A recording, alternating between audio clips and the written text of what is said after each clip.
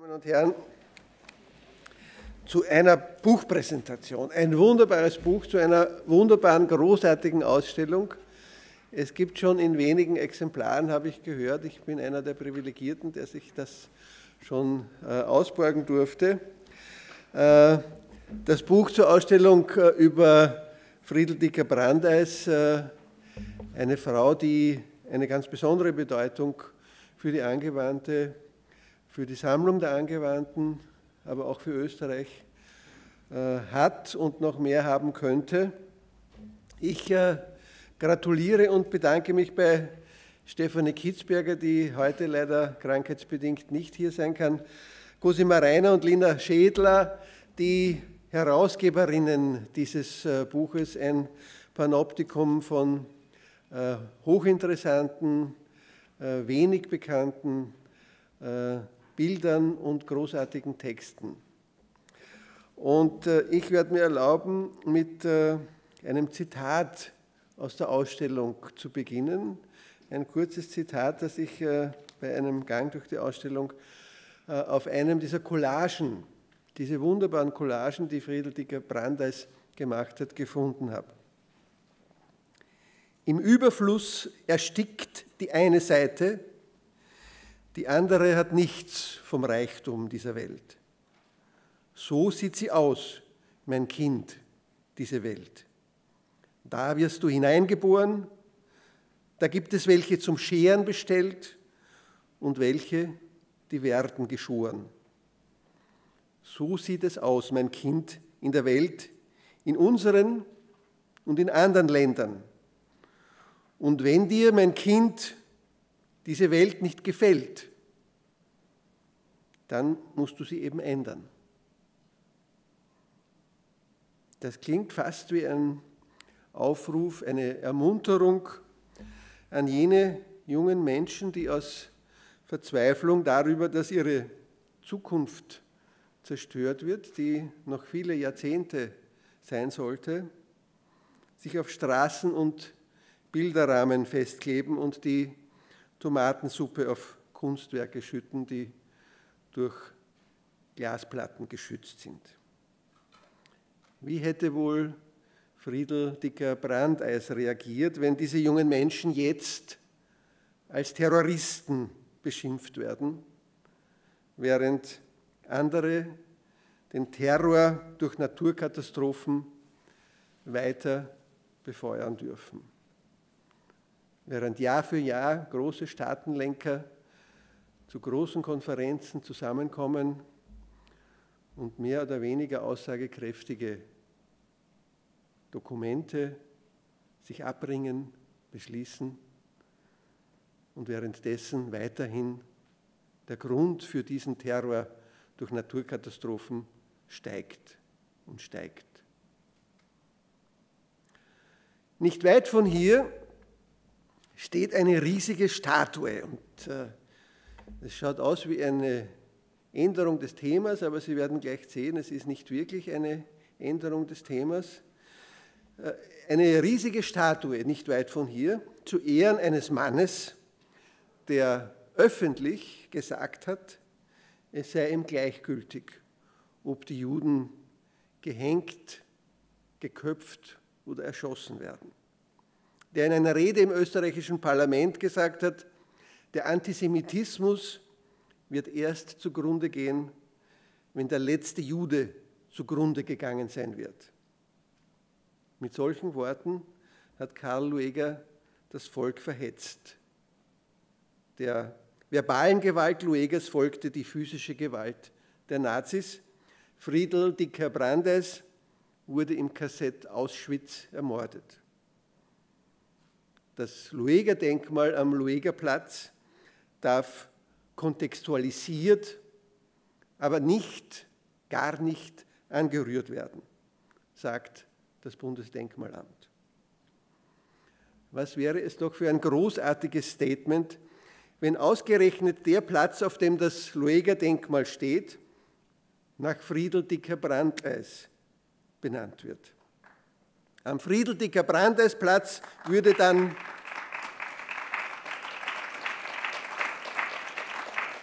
am Friedeldicker Brandeisplatz würde dann eine Statue stehen, die einen Mann ehrt, der den Boden für ihre Mörder aufbereitet hat. Was wäre das für eine Manifestation der Dialektik der Geschichte?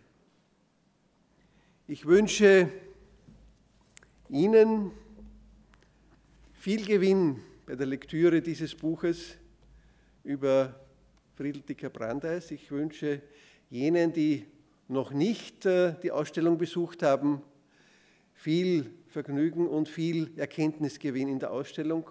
Und jene, äh, jenen, die schon in der Ausstellung waren, empfehle ich, noch einmal hinzugehen. Es lohnt sich. Alles Gute, danke.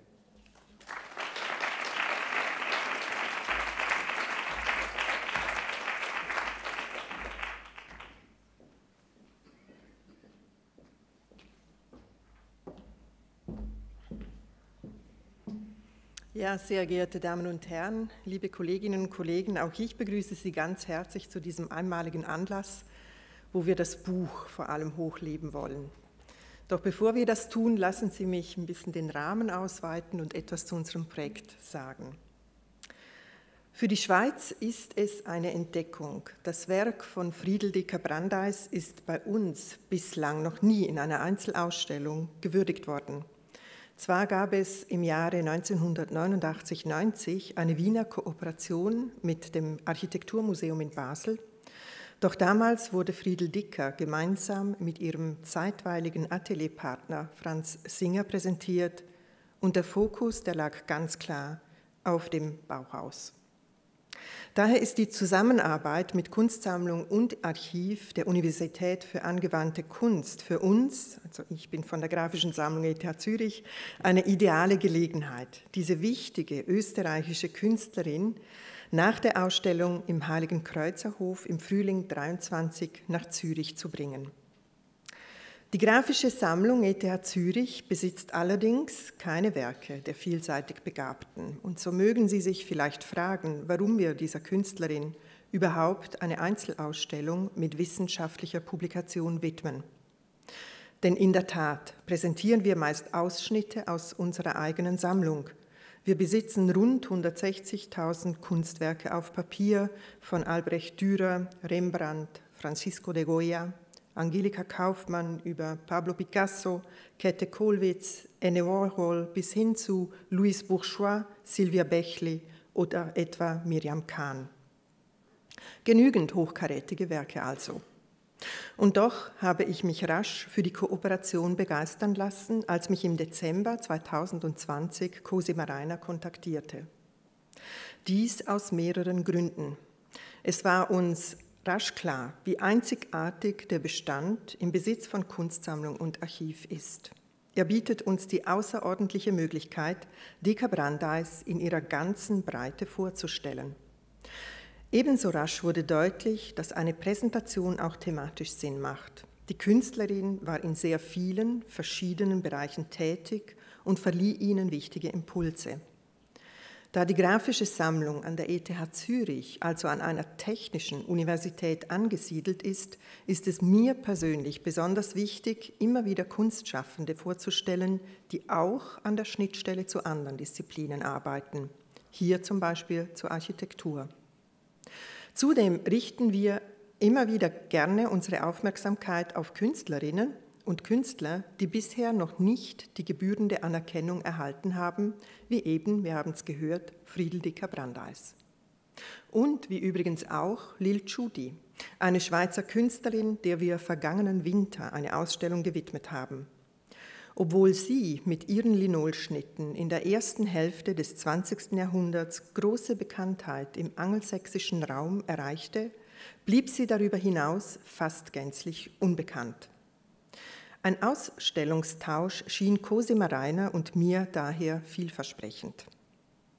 Werke von Dicker Brandeis werden daher von 29. März bis 18. Juni 2023 bei uns präsentiert.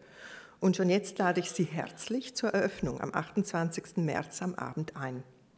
Es wird interessant sein zu sehen, wie Friedel Dicker Brandeis, wie ihr Werk in einem anderen Umfeld, in anderen Räumen, ja in einem anderen Display wirkt und welche Fragen und Diskurse sie in Zürich auslösen wird. Demgegenüber reisen wiederum im Herbst 2023 Arbeiten von Lil Chudi zu ihnen nach Wien und werden erstmals überhaupt in die Bestände von Kunstsammlung und Archiv der Universität für angewandte Kunst in Wien eingebettet etwa über Berührungspunkte zum österreichischen Maler und Kunstpädagogen Franz Schischek oder über Judys großes Vorbild, die österreichische Tiermalerin Norbertine Bresslern-Roth. Obwohl, das sei hier ganz deutlich angemerkt, Dika Brandeis und Judy völlig unterschiedliche und nicht miteinander vergleichbare Lebensumstände hatten, gibt es auf der Ebene, und das interessiert hier uns, auf der Ebene der Kunst lose Parallelen. Doch unsere Partnerschaft ergibt auch deshalb Sinn, weil wir beides Universitätssammlungen sind mit einer großen Nähe zu Lehre und Forschung. Daher ist auch ein Austausch im Rahmen von Seminaren geplant und es freut mich, dass Eva Maria Stadler mit Studierenden zu uns kommen wird. Das Gespräch geht damit über die Ausstellungseröffnung hinaus vielversprechend weiter. Und über die Ausstellung hinaus wird auch die umfassende wissenschaftliche Publikation Bestand haben. Sie steht heute im Zentrum. Es freut mich sehr, dass wir das Buch gemeinsam herausgeben und ich bedanke mich bei Cosima Reiner und leider ist sie nicht hier, auch bei Stefanie Kitzburger für die umsichtige Betreuung. Wir haben das besondere Glück, dass wir heute viele Autorinnen und Autoren hier haben, die ihre Erkenntnisse vorstellen und mit uns diskutieren. Ich freue mich sehr darauf und werde daher selbst nichts weiter zum Buch sagen, sondern gerne das Wort Cosima Reiner übergeben. Vielen Dank.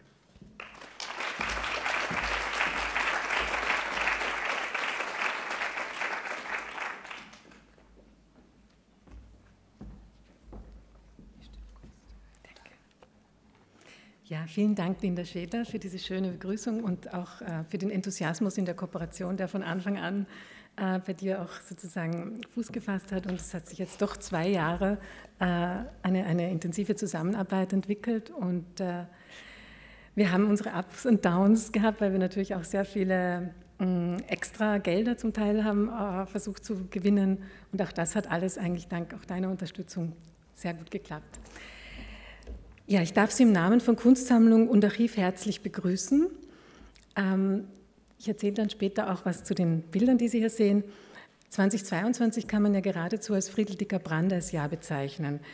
Anfang des Jahres gab es die erste österreichische Museumsretrospektive in Linz im, im Museum Lentos. Seit September 2022 zeigen wir erstmals den umfangreichen Sammlungsbestand der Universität für angewandte Kunst in einer vertiefenden Studienausstellung im Heiligen Kreuzerhof. Und morgen Abend eröffnet im Wien Museum im Musa eine, eine Ausstellung, die sich besonders der Ateliergemeinschaft Franz Singer und Friedel Dicker widmet. Friedel Dicker Brandes hat jedoch nur punktuell Eingang in die Kunstgeschichte der europäischen Moderne gefunden. Eine komplexe Auseinandersetzung mit ihrem Werk hat nach ihrer Ermordung 1944 durch die Nazis lange nicht in der österreichischen Museumslandschaft stattgefunden. Die Universität für angewandte Kunst ist die einzige öffentliche Institution, die aktiv einen Sammlungsbestand zu Friedel Dicker Brandeis aufgebaut hat. Dieser umfasst über 200 Werke. Initiiert hat das Engagement der Künstler, Ausstellungsmacher und ehemalige Rektor der Angewandten Oswald Oberhuber. Er hat Friedel Dicker in zwei paradigmatischen Ausstellungen, zu der Sie hier die Kataloge sehen, erstmals wiederentdeckt. Zum einen in der Ausstellung Die österreichische Avantgarde, ein unbekannter Aspekt 1976, das ist der schwarze Katalog, und in der, die war zu sehen in der Galerie Next St. Stephan und im Taxis Palais in Innsbruck.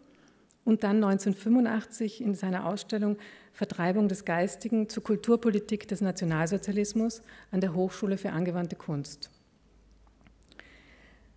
Was immer du siehst, könnte auch anders sein ist der Titel der Einführung, die ich mit Stefanie Kitzberger für die vorliegende Publikation geschrieben habe. Dieser Satz steht paradigmatisch für Friedel Dicker Brandeis Gestaltungsansatz, könnte aber auch ein Leitsatz von Oswald Oberhuber gewesen sein. In seinem Konzept der permanenten Veränderung ging es ihm um eine ständige Befragung von Kunst, ihren Ausschlussmechanismen und hermetischen Gerinnungen Konventionen. Oberhubers programmatische Arbeit wurde in unserer Ausstellung Schule Oberhuber, eine Sammlung als Programm im Frühjahr 2022 in der Universitätsgalerie umfassend, umfassend dargestellt. Oberhubers Augenmerk lag auf Avantgarde-Künstlerinnen und durch den Faschismus ermordeten, vertriebenen oder auf andere Weise marginalisierten Figuren der österreichischen Kulturlandschaft. Mit seiner Schenkung einer Druckgrafik Friedel Dickers und weiteren drei fotografischen Abzügen aus der Reihe der politischen Fotokollagen legte er 1981 den Grundstein für den Aufbau einer Sammlung zu Friedel Dicker Brandeis an der Angewandten. Erika Patka, die heute auch hier ist, ich herzlich begrüße, Sammlungsleiterin von 1980 bis 2004, setzte diesen Fokus fort und um. Durch ihr und ihres Nachfolgers Patrick Werkners Engagement gelangten zwischen 1990 und 2012 mehrere Konvolute an Grafiken, Gemälden und Briefen aus dem Privatbesitz von Judith Adler, Georg Schromm und Hildegard Angelini Kotny in die Sammlung der Universität für angewandte Kunst. Alle drei genannten Personen sind in biografischer Hinsicht mit Friedel Dicker Brandeis verbunden. Mit, einer, mit einem ersten Ankauf von über 50 Werken aus dem Besitz von Judith Adler, die die Tochter von Dickers Brandeis Studienkollegin und Freundin Annie Wottitz-Moller ist oder war, sie ist leider gestorben, gelangte von 1999 bis 2002 über die Familie Adler der Hauptteil des Konvoluts an künstlerischen Arbeiten und archivalischen Dokumenten in unseren Sammlungsbestand.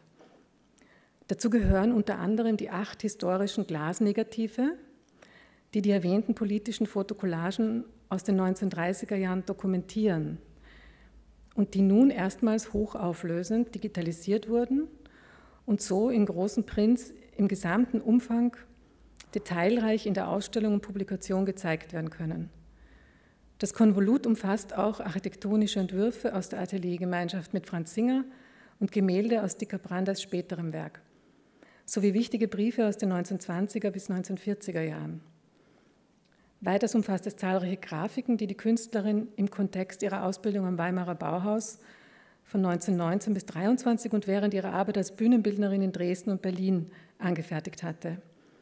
Über den Nachlass von Hildegard Angelini Kotny gelangten 2002 weitere umfangreiche Briefwechsel und Gemälde in die Sammlung der Universität für angewandte Kunst. Hilde Kotny hat Friedel Dicker Brandeis 1936 in Prag kennengelernt und stand mit ihr insbesondere während ihres Exils in Prag und in Ronov, aber auch noch nach ihrer Deportation ins KZ Theresienstadt in engem Austausch. Warum ist Friedel Dicker in der Kunstgeschichte der europäischen Moderne kaum sichtbar? Diese Vernachlässigung hat in Dicker Brandeis Fall mehrere Ursachen. Dabei spielen geschlechtsspezifische, klassistische und antisemitisch bedingte Formen der Marginalisierung, welche etwa die Rezeption Dickers primär als Partnerin des Architekten Franz Singer zur Folge hatte, ebenso eine Rolle wie die faktische Zerstreuung und der weitreichende Verlust von zentralen Teilen ihres Werks. Die Selbstbegleitphänomen ihrer Unterdrückung als Sozialistin und Kommunistin ab den 1930er Jahren und ihrer Ermordung als Jüdin durch das nationalsozialistische Regime sind. Es ist aber auch die Tendenz der Kunstgeschichte, den Kanon zum 20. Jahrhundert entlang der Trennung von Medien und einer vermeintlichen Dichotomie von bildender und angewandter Kunst zu etablieren, was die Einordnung und Interpretation von Dickers interdisziplinären Övre behindert hat. Dicker Brandes, die mit den Mitteln der Kunst auf ihre sich häufig ändernden, zum Teil prekären Lebenssituationen reagierte, war eine höchst widerständige, ästhetisch wie sozial kraftvolle Künstlerin. Mit der Ausstellung Friedeldicker Brandes Werkstätten bildender Kunst zeigen wir erstmals den umfangreichen Bestand der Universität für angewandte Kunst, der Arbeiten, wie ich erwähnt habe, aus allen wichtigen Werkphasen beinhaltet. Die Ausstellung ist aber auch das Ergebnis zweijährigen, eines zweijährigen Forschungsprojekts, in dessen Zusammenhang die vorliegende Publikation erarbeitet wurde. Daher haben wir eigentlich eine Ausstellung zum Buch erarbeitet und nicht umgekehrt das Buch zur Ausstellung gemacht. Wir danken hier auch allen Autorinnen für ihre unglaublich äh, bereichernden Beiträge, die uns auch ähm, geholfen haben in der Konzeption der Ausstellung, die gestern auch äh, gemeinsam, die wir gestern gemeinsam besichtigen konnten. Ähm, also noch zur Ausstellung möchte ich noch etwas ergänzen und auch ein paar Bilder dazu zeigen. Ähm, ich glaube, ich muss dann einfach nur drücken. Ja. Also eine Ausstellung bietet zahlreiche Möglichkeiten, was man und wie man etwas über eine Künstlerin sagen kann. Das beginnt mit der Erzählform und wie sich diese in der Ausstellungsgestaltung zeigt. Ich zeige Ihnen eben einen Durchlauf durch die Ausstellung, die, ähm, ich, die vom Künstler und Co-Kurator Robert Müller hochsensibel gestaltet wurde. Unser Ziel war, den Blick auf das Övre der Künstlerin weiter zu nuancieren und vertiefen. Dabei vermeiden wir einen biografistisch vereinnahmenden oder linearen Zugang. Die Ausstellung geht von den Werken aus und setzt diese in vertiefende Kontexte. Dabei wird besonders Friedel Dicker-Brandeis unglaublich ergreifende und komplexe Bildsprache und ihre kritische und politische Haltung herausgearbeitet, die sie in all ihren Werkphasen auf den Punkt bringt.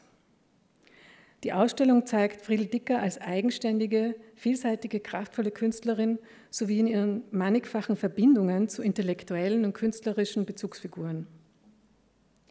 Da von dieser Künstlerin und auch von ihren Ateliergemeinschaften so vieles zerstört wurde und vieles verloren ging, bildet die Ausstellung eine Art Studiensituation nach, die die Werke kontextualisiert und tiefergehend lesbar macht.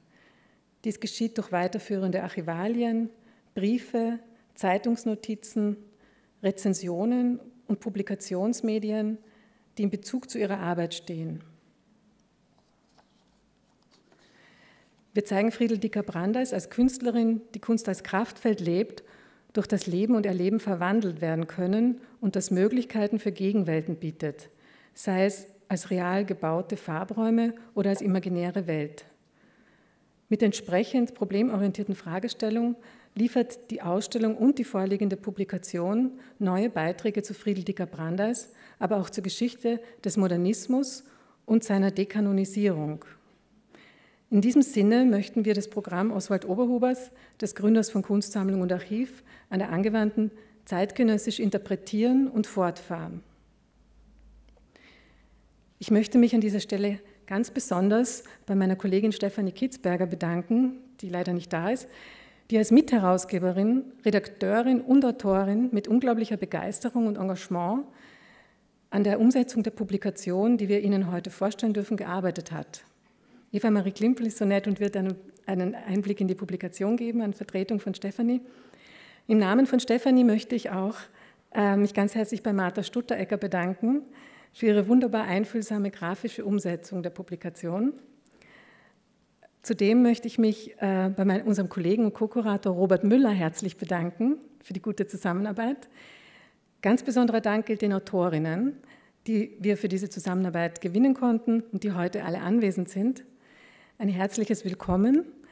Wir freuen uns sehr über die Beiträge und danken für die plurikossalen und moderne kritischen Zugänge, die die Sichtweise auf Friedel Brandes erweitern und bereichern. Dann möchte ich mich auch ganz herzlich bei Laura Ecker-Kahlecker, Eva Marie Klimpfel bedanken, äh, ohne die die Publikation und Ausstellung nicht möglich gewesen wäre. Das gilt auch für das Team von Kunstsammlung und Archiv, allen voran Silvia Hergt und Judith Burger, die uns in allen Bereichen unterstützt haben. Weiter gilt mein großer Dank den Unterstützerinnen der Publikation. Das sind vor allem Rektor Gerald Bast, Anja Seibenbusch und Linda Schädler. Ebenso der Zukunftsfonds, der Nationalfonds der Republik Österreich, die Erste Stiftung und Botschafterin Theresa Indian vom Bundesministerium für europäische und internationale Angelegenheiten, die das Projekt von Anfang an unterstützt hat. Danke für Ihre Aufmerksamkeit. Ich übergebe das Wort jetzt an Eva Marie Klimpel. Danke vielmals. Applaus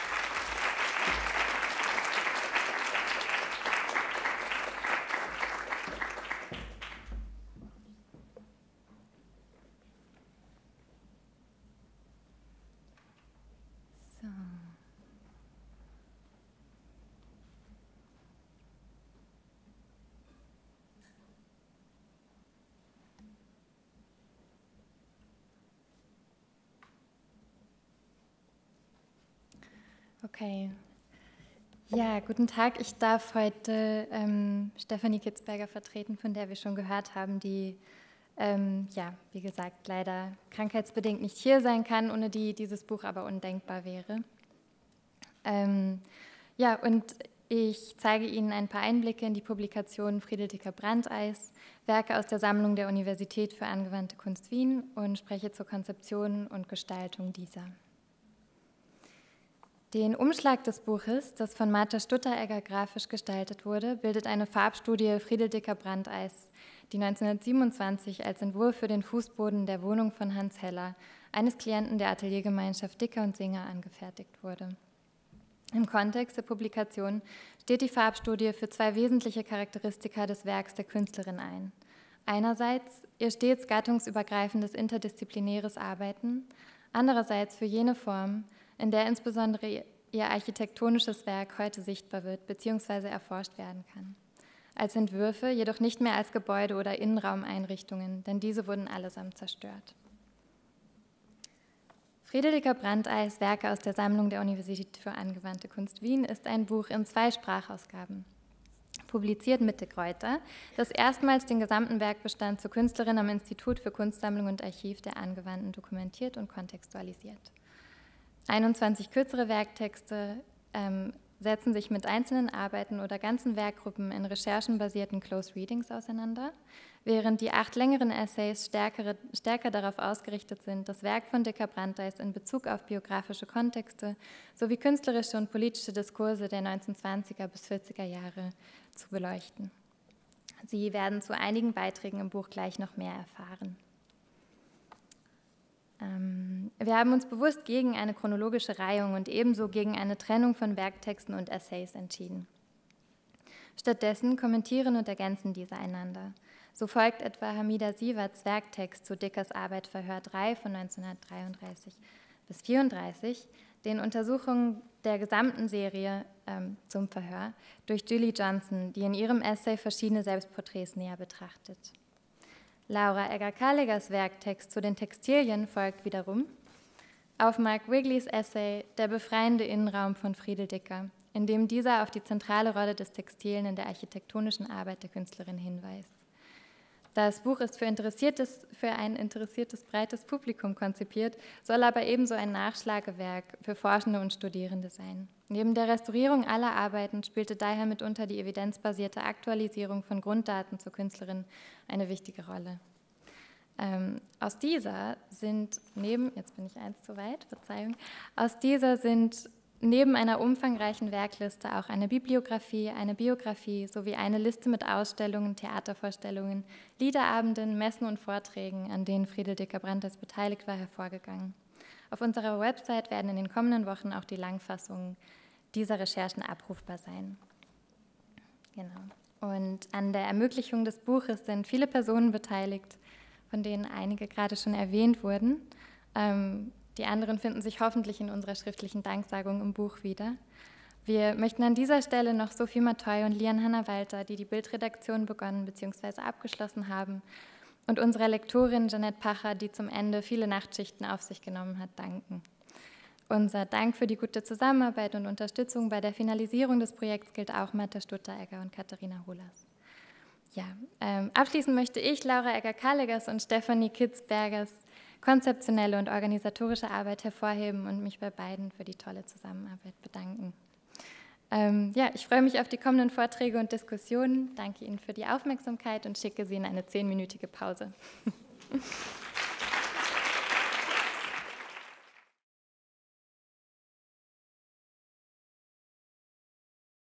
Präsentation der Autorinnen Daniela Stöppel, Robin Rehm, Hamida Sieverts und Jenny Tischer wird diese Diskussion anschließend moderieren. Ich darf Ihnen Jenny Tischer vorstellen. Sie ist Künstlerin und arbeitet an der Universität für angewandte Kunst im Bereich Kunst- und Wissentransfer mit Eva Maria Stadler. In ihren skulpturalen Installationen und Zeichnungen rekonzipiert sie Gestaltungsprinzipien, Material- und Raumbezüge aus feministischer Perspektive – Jenny Tischers Arbeiten wurden zuletzt unter anderem in Einzelausstellungen in der Galerie Grobert in Wien gezeigt, im Kunstforum Ballois in Basel, im Mumok Museum moderner Kunst sowie in zahlreichen Gruppenausstellungen. Sie erhielt das Schindler-Stipendium und wurde mit dem 15. Ballois-Preis ausgezeichnet. In der Lehre befasst sie sich mit Konzepten von Care Work und sozialer Reproduktion. Derzeit ist die von Stefanie Kitzberger und Jenny Tischer kuratierte Ausstellung Backyard Economy, die wir Ihnen sehr empfehlen, auch in Heiligenkreuzhof in der Sala Terrena in der Universitätsgalerie in der Angewandten zu sehen. Ja, ich, ich wünsche eine spannende Diskussion mit den Autorinnen. Danke. Vielen herzlichen Dank für die Vorstellung, Cosima. Dankeschön. Ähm, ich möchte Sie alle herzlich begrüßen zum ersten ähm, Panel. Ähm, ich freue mich besonders heute, das erste Panel mit Daniela Stöppel, Robin Rehm und Hamida Sivatz anlässlich des Katalog-Launches zur Arbeit von Friedel Dicker-Brandeis moderieren zu dürfen. 2013 habe ich im Zuge der Vorbereitungen zu meiner Einzelausstellung PIN im MUMOC zu der künstlerisch gestaltenden Arbeit Friedel Dicker-Brandeis recherchiert zum damaligen Zeitpunkt stand mir keine umfassende Publikation, wie sie nun mit diesem Buch vorliegt, zur Verfügung. In der Lektüre der Texte finden sich nun zeitgemäße, präzise Analysen des komplexen, vielschichtigen Werkes Friedel Dicker-Brandeis wieder. Wie sie das eine Medium aus und mit anderen Medien heraus gedacht und entwickelt hat, ganze Raumkonzepte aus diesem ganzheitlichen Denken hervorgegangen ist, sind, hat mich schon damals fasziniert. Was dadurch unweigerlich entstand, war eine Enthierarchisierung der oft in Abgrenzung zueinander definierten Bereiche Architektur, Innendesign, Malerei, Textil, die ich in meiner Ausstellung aufgriff, in dem Sockel, Display, der Ausstellungsraum und die Objekte sich reziprok aufeinander bezogen und durchdrangen und durch bewegliche Elemente die Besucherinnen mit einbezogen wurden zu unter anderem der besonderen Bedeutung dynamischer Prozesse im Werk Friedel Dicker Brandeis darf ich nun die erste Rednerin begrüßen und vorstellen.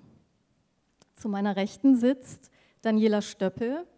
Sie lehrt als akademische Oberrätin am Institut für Kunstgeschichte der Ludwig-Maximilians-Universität in München. 2008 wurde sie mit einer Arbeit über visuelle Zeichensysteme promoviert die 2014 im Verlag Silke Schreiber unter dem Titel Visuelle Zeichensysteme der Avantgarden 1910 bis 1950 Verkehrszeichen, Farbleitsysteme, Piktogramme erschienen ist. Von 2019 bis 2021 war sie als Vertretung für die Professur für Kunstwissenschaft und Medienphilosophie an der Hochschule für Gestaltung in Karlsruhe tätig.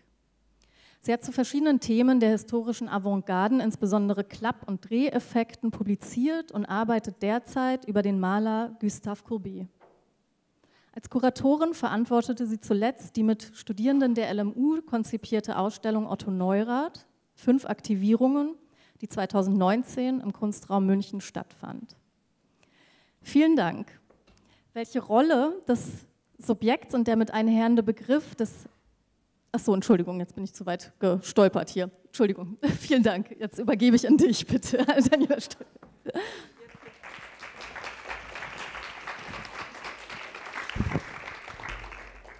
Ja, vielen Dank für die freundliche Einführung und auch viele, vielen Dank für die Einladung, dass ich hier heute nochmal meine Gedanken, die ich mir im Zuge der letzten zwei Jahre auch zu Friedel Dicker-Brandeis gemacht habe, äh, mit Ihnen teilen und im Anschluss auch diskutieren kann und äh, möchte mich nochmal herzlich bei allen Organisatoren, äh, KuratorInnen, HerausgeberInnen, also es ist eine ganze Armada von Leuten gewesen, die äh, mit der Publikation und der Ausstellung beschäftigt waren, bedanken. Und ähm, ja, habe mich damals sehr gefreut, vor zwei Jahren, als ich angeschrieben wurde von Stefanie Kitzberger, ähm, einen Artikel über Frieda Friedel Dicker-Brandeis für den Katalog beizusteuern. Ich kannte ihre Arbeit damals eigentlich nur in dem Zusammenhang mit Franz Singer also die Möbel- und Wohnungsgestaltung der 20er Jahre. Das hatte damit zu tun, dass ich mich eben mit Dreh- und Kippeffekten mal befasst hatte und hatte die so auf meiner Liste und habe auch sofort freudig zugesagt, um mich dann etwas in ihre Arbeit einzulesen. Es gibt ja auch schon einige Publikationen, die vor allen Dingen sehr biografisch ausgerichtet sind und habe dann gemerkt, es wird schwierig. Es ist keine ganz einfache Angelegenheit. Äh, vor allen Dingen ähm, war ja die Aufgabenstellung Friedel Dicker-Brandeis Werk im Kontext der internationalen Avantgarden zu verorten. Und ähm, die Gründe wurden gerade von Cosima Reiner auch schon genannt, warum Friedel Dickers Werk nicht so einfach zu fassen ist. Also das hat mit der Überlieferung zu tun, das hat mit den Kooperationen zu tun, es hat aber auch mit einer gewissen Heterogenität innerhalb ihres Schaffens zu tun. Und ich hatte am Anfang den Eindruck, ja, da sind auch so verschiedene Dinge, die im internationalen Kontext präsent waren, ähm, sehr stark von ihr aufgegriffen worden, also zum Beispiel kubofuturistische Elemente oder dann auch das, was Itten gemacht hat. Später haben wir natürlich den Einfluss in Anführungszeichen der russischen, sowjetischen Künstler, also mit diesen Axonometrien. Und ganz zum Schluss wendet sie sich ja dann auch noch mal einer gegenständlichen Bildsprache wieder zu, also eine sehr heterogene äh, Geschichte. Und wenn man dann sich überlegt, naja, man hat andererseits diese heroische Avantgarde, die wie so ein Monolith eigentlich da steht und auch mit diesen ganzen großen Namen verbunden ist, also Kandinsky, Mondrian, Picasso, Duchamp, äh, Malevich natürlich auch, ähm, dann wird es schwierig, ihr innerhalb dieses Tableaus eine, eine Position zuzuweisen, die eben nicht am Rand ist oder die sie eben nicht marginalisiert, äh, ohne sie sozusagen, ähm, ohne ihrem Werk in einer bestimmten Form auch etwas überzustülpen. Und ich habe mich dann natürlich, ich meine, den Text kennen Sie alle von Linda Nochlin, Why have there been no great women artists? Äh, die Frage gestellt, naja, vielleicht war sie gar keine große Künstlerin und welche soziologischen und kulturellen Faktoren sind denn entscheidend dafür, dass sie das vielleicht gar nicht gemacht hat. Also dass sie an einer heroischen Moderne im Sinne ja, zum Beispiel einer Vorantreibung der ähm, Abstraktion, wie wir das von Malevich oder Mondrian kennen, dass sie so etwas vielleicht gar nicht betrieben hat und auch nicht betreiben wollte und hatte mich dann sozusagen entschieden, einen Text zu schreiben, der sehr nah an dem ist, was in ihren Werken ablesbar ist und eher fragt, in welchen Erwartungs- und ähm, Bedeutungskontext sie diese Werke hinein produziert hat. Und das hat natürlich auch mit dieser spezifischen Situation zu tun, in Wien als Jüdin und auch Frau, äh, auch aus einer bestimmten sozialen Klasse, also bestimmte Dinge tun zu können und andere Dinge eben auch nicht tun zu können. Das war sozusagen dann meine äh, Entscheidung und habe dann auch zugesagt. Und ähm, dann sind wir aber, und das war eigentlich, muss man sagen, hochprofessionell, ähm, alle Autoren sind versorgt worden, also von eben den äh, Mitarbeiterinnen hier der Angewandten, ähm, A mit Literatur, B aber auch mit unveröffentlichtem Material. Also sowohl die Bestände hier aus der Angewandten sind ja digitalisiert worden und auch uns zur Verfügung gestellt worden, sodass man doch nochmal einfach eine andere Materialgrundlage hatte, um sich mit dem Werk auseinanderzusetzen, als das die vorherigen Publikationen geboten haben. Und wir haben auch Einblick bekommen in den aktuellen Bearbeitungsstand der Briefkorrespondenz äh, von Friedel Dicker Brandeis, äh, die wirklich sehr aufschlussreich ist und einen Einblick gewährt in ja, ihr intellektuelles Denken und äh, tatsächlich mir auch nochmal sehr geholfen hat, diese Spezifik, äh, die eben ihre Produktionsbedingungen äh, betroffen haben, äh, genauer herauszuarbeiten. Denn Wien ist eben nicht äh, New York oder London der 30er Jahre und Prag und Chronov sind auch nicht New York und London der 1940er Jahre, sondern und Theresienstadt und äh, Auschwitz schon gleich gar nicht. Ähm, ich habe dann tatsächlich auch in dieser Korrespondenz einen Satz gefunden, der mir erscheint oder der mir ein bisschen wie der Schlüssel also zu ihrem Oeuvre erscheint, den ich hier auch kurz zitieren möchte. Und zwar heißt es da in einem Brief eben an besagte Hilde Kotny, wahrscheinlich so aus den 1940er Jahren oder aus dem Jahr 1940, das ist ja alles auch noch äh, in der Bearbeitung.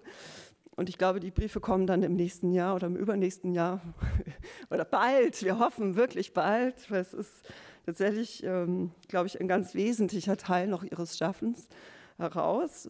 Und da heißt es eben, da äußert sie sich eben zu ihrem künstlerischen Anliegen und da meint sie eben, ähm, sie wolle, Zitat, einen Bewegungsablauf im Material ausdrücken, von der Fläche bis zur Linie. Das klingt jetzt erstmal relativ einfach und auch jetzt nicht besonders ähm, avanciert irgendwie formuliert, lässt sich aber sehr gut an die zeitgenössische Kunsttheorie anschließen, und zwar insbesondere an zwei Strömungen. Das eine ist der Wiener Kinetismus, also insbesondere Franz Zizek, der hier ja äh, stark gewirkt hat mit seiner ähm, äh, Formenlehre und auch seiner Jugendkunstklasse und von dem wir ja wissen, dass er engen Kontakt auch mit Friedlicher Brandeis hatte und sie sich mit ihm stark auseinandergesetzt hat. Und auch Itten, der hier in München, äh, in, Wien, in Wien seine private Schule hatte, ist in diesem Kontext ja eine wichtige Figur. Äh, das ist das Erste. Und das Zweite ist eben der äh, sowjetische Kontext, wo eben ab den 20er Jahren äh, kinetische Modelle in der Kunstpraxis, in der Gestaltung sehr intensiv diskutiert werden und vor allen Dingen auch unter politischen Gesichtspunkten. Also Dynamik wird quasi fast schon gleichgesetzt mit einem kommenden äh, Sozialismus. Zum Wiener Kinetismus ist ja auch inzwischen einiges ähm, publiziert und auch er stellt im Grunde eine ähm, Erweiterung dieser monolithisch gedachten Avantgarde ähm, dar ähm, und hilft vielleicht auch ja, ähm, diese, diesen Kanon tatsächlich auch ein bisschen neu zu denken oder umzuschreiben. Ähm, zeitgenössisch ist wenig dazu publiziert worden und ich äh, zitiere hier jetzt eben mal aus dieser Publikation von Leopold Wolfgang Rochowanski, die ja auch in der Ausstellung aufliegt mit einem ganz spektakulären Cover. Ähm, da heißt es, ähm, nichts wurde übersehen in dieser neuen Gestaltungspraxis. Zitat, Tapete, Plakat, Bucheinband, Architektur und Theater, Spitze, Stickerei, Keramik, sie alle wurden erneuert durch den Gewinn rhythmischer Kräfte. Also man hat versucht, ähm, Prinzipien aus eher den Zeitkünsten wie Tanz und Musik auf alle Bereiche der bildenden Kunst zu übertragen. Und das ist sicherlich etwas, was wir in Friedel Dickers Werk äh, wiederfinden. Der russisch-sowjetische Diskurs, der vermittelt sich Friedel Dicker vor allen Dingen über ungarische Künstler, über die Zeitschrift Ma, von der wir auch wissen, dass sie sie äh, gelesen hat. Und da gibt es also verschiedene Namen wie Farkas Molnar oder Lajos Kasak, äh, die in einer Ausgabe von Ma unter anderem auch mit Lisitsky über neue Theaterkunst in Russland ähm, schreiben und eben auch diesen neuen Bewegungsbegriff, der eben von der Bühne her erstmal gedacht wird, ähm, thematisieren und als eine transformatorische Kraft für eben diese neue sowjetische Gesellschaft einführen. Und ich lese jetzt aus einem anderen Text ein kurzes Zitat vor von einem weiteren Ungarn, Alfred Kemeny aus Der Sturm, also es ist eigentlich eine expressionistisch geprägte Zeitschrift, was auch interessant ist, äh, damit Sie das vielleicht ein bisschen besser nachvollziehen können.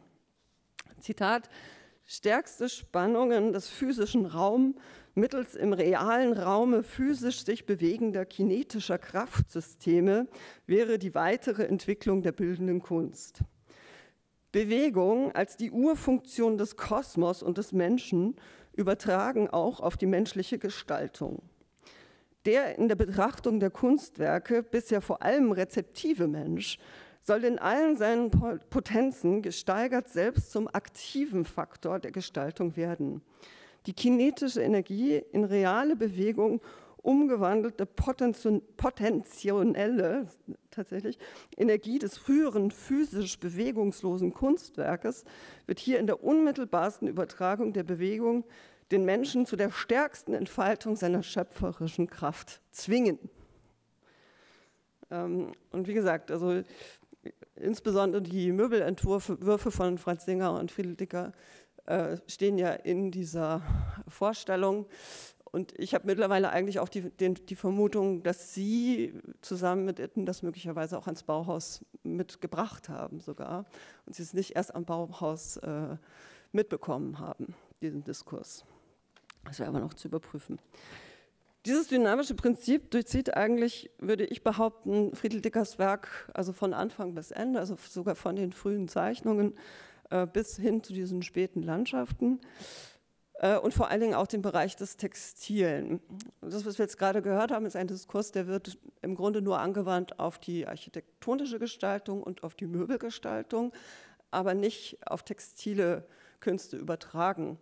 Und da ist sozusagen so eine Art Theorie-Gap, ähm, äh, weshalb man vielleicht sich auch mit der äh, Textilkunst von Friedel Dicker Brandeis eher weniger beschäftigt hat. Man sieht das aber auch sehr schön in der Ausstellung, gerade in den axonometrischen Darstellungen, dass äh, die Raumgestaltung, also die architektonische Grundstruktur quasi nahtlos übergeht, sozusagen vom Makro in den mikroräumlichen Bereich. Also jeder Faden, jede einzelne Webstruktur im Grunde auch der verwendeten Textilien in den Zeichnungen sogar schon deutlich wird. Das heißt, diese Durchdringung des Raumes, und das hat bei Friedel Dicker viel mit eben äh, Zusammenziehung und Ausdehnung von Raum zu tun, äh, findet sich eben nicht nur in diesen Schubladen und Klappbetten und ausziehbaren Möbeln und stapelbaren äh, Tischen und Stühlen, sondern eben auch in diesen Textilien, die eben durch diese Verschlingungen, Verkettungen auch eine sehr komplexe äh, raumzeitliche Struktur haben, was manchmal übersehen wird. Das ist das eine. Und das andere ist, dass sie auch diesen Dynamisierungsprozess auf ihre kunstpädagogische Arbeit überträgt. Also sie spricht ähm, später in den Briefen eben auch davon, dass die Schüler elastisch bleiben müssten oder dass sie durch diesen ähm, Prozess eine gewisse Elastizität gewinnen würden, die sie auch bei den Lehrern voraussetzt, ne, die mit einer Elastizität ihren Unterricht gestalten müssten. Das heißt, das Ganze ist eher als ein reziprokes Miteinander zu denken, vielleicht wie so ein Pulsieren wo sozusagen Lehrer und Schüler miteinander im Raum dynamisch agieren. Und das schlägt den Bogen zurück, letztendlich bis hin zu ihrer Zeit in der Jugendbewegung. Also in, sie war jugendbewegt, ne, wo man eben auch diesen Begriff der Bewegung schon im Terminus ähm, der Jugendbewegung hat. Äh, dass man das tatsächlich irgendwie fast wie so eine soziale Plastik vielleicht auch unter diesem Begriff ähm, subsumieren kann. Der zweite Aspekt, ich sehe hier leider keine Uhr, bin ich schon drüber, wäre der, der, äh, der, ähm, der Gender-stereotypischen oder ihrer Rolle als Frau, der in dem Zitat eben auch anklingt. Ich mache es jetzt kurz. Äh, der zweite Teilsatz lautet ja, von der Fläche bis zur Linie. Und damit ähm, kehrt sie eigentlich ein Prinzip um, das seit der Antike und über die frühe Neuzeit auch in der Moderne sehr virulent ist, nämlich die Dominanz eigentlich der Linie über die Fläche. Also genau umgekehrt, die Linie als ein männlich konnotiertes Prinzip einer geistig-konzeptuellen Kraft, die quasi durch die Fläche, die Materie, das Stoffliche, die Farbmaterie erst sekundär gefüllt wird. Und wenn sie eben schreibt, nicht von der Linie zur Fläche, oder wie Kandinsky schreibt, von Punktlinie zur Fläche, oder wie Klee ja auch vom Punkt zum Raum argumentiert, sondern es umkehrt, von der Fläche zur Linie denkt, könnte man darin durchaus auch eine gewisse ja, Umkehrung äh, dieses Prinzips sehen. Damit steht sie aber eigentlich ganz ähm, auch im Einklang mit den kunsttheoretischen Überlegungen ihrer männlichen Kollegen. Also ich habe in meinem Text jetzt Karl Schäffler von 1906 die Kunst, äh, die, Frau, die Frau und die Kunst zitiert. Ihr Werk taucht aber ja auch mit der Abbildung auf in dem Band von Hans Hildebrand, die Frau als Künstlerin. Und wenn wir diese Texte heute lesen, dann ist das für uns eher problematisch, weil dort von klar, einer klaren Frauen- und einer klaren Männerkunst eigentlich ausgegangen wird. Wir haben es aber, würde ich sagen, in der gesamten Moderne mit einer gewissen Feminisierung zu tun, äh, die einhergeht mit anderen Naturalisierungsphänomenen. Man schreibt also den Frauen eine größere Natürlichkeit, eine größere Ganzheitlichkeit, ein tieferes emotionales äh, Gespür ähm, zu. Also Karl Schäffler drückt, drückt, das so aus, Frauen könnten sich nicht partikular machen, sie würden sich sozusagen nicht ähm, so beschränken können wie Männer auf eine einzelne Problemstellung, sondern sie denken immer ganzheitlich. Wäre, deswegen wäre zum Beispiel auch der Tanz für sie besonders geeignet, weil sie da diesen Zusammenhang zur Welt noch in einem ganzheitlichen Sinne hätten.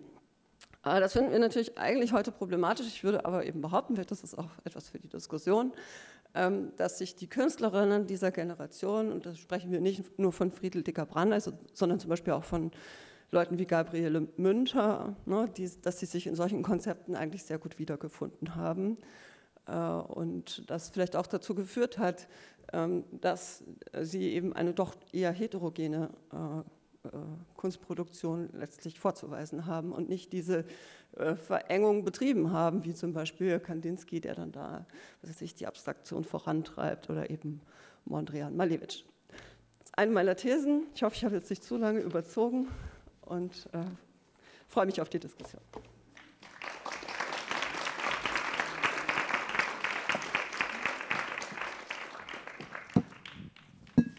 Vielen herzlichen Dank, Daniela Stöppel.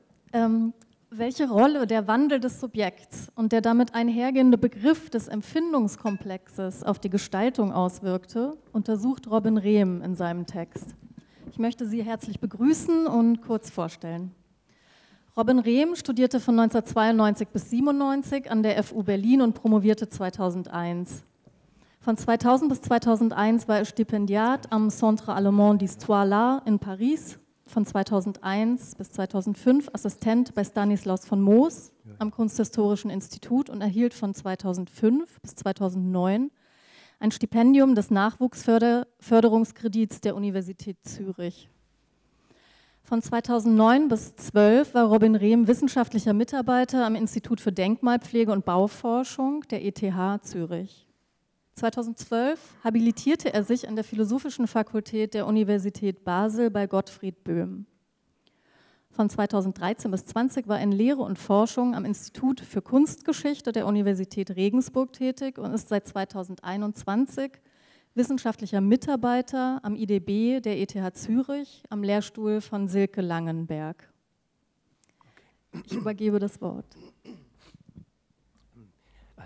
Vielen Dank, Jenny, für die ähm, Einführung, für die Vorstellung und auch vielen Dank ähm, allen Beteiligten, ähm, sowohl am Ausstellungsprojekt auch als ähm, am Buchprojekt. Es war eine sehr, sehr intensive Zusammenarbeit. Immer wieder kam noch eine neue Anmerkung und es war einfach wunderbar. Also herzlichen Dank für alles und ähm, ich habe sehr viel gelernt. Ähm, auch was das Differenzieren noch einmal bei einer Künstlerin wie Friedel dicker Brandeis, was das bedeutet. Ähm, was ich jetzt vorstelle, ist eigentlich nur ein Holzschnitt, wenn überhaupt, also des Textes ähm, ähm, ähm zu, also ähm, Friedel dicker Brandeis und der Fragestellung, die ich versucht habe zu entwickeln. Ähm, lassen Sie mich vielleicht kurz auch auf einzelne Punkte eingehen.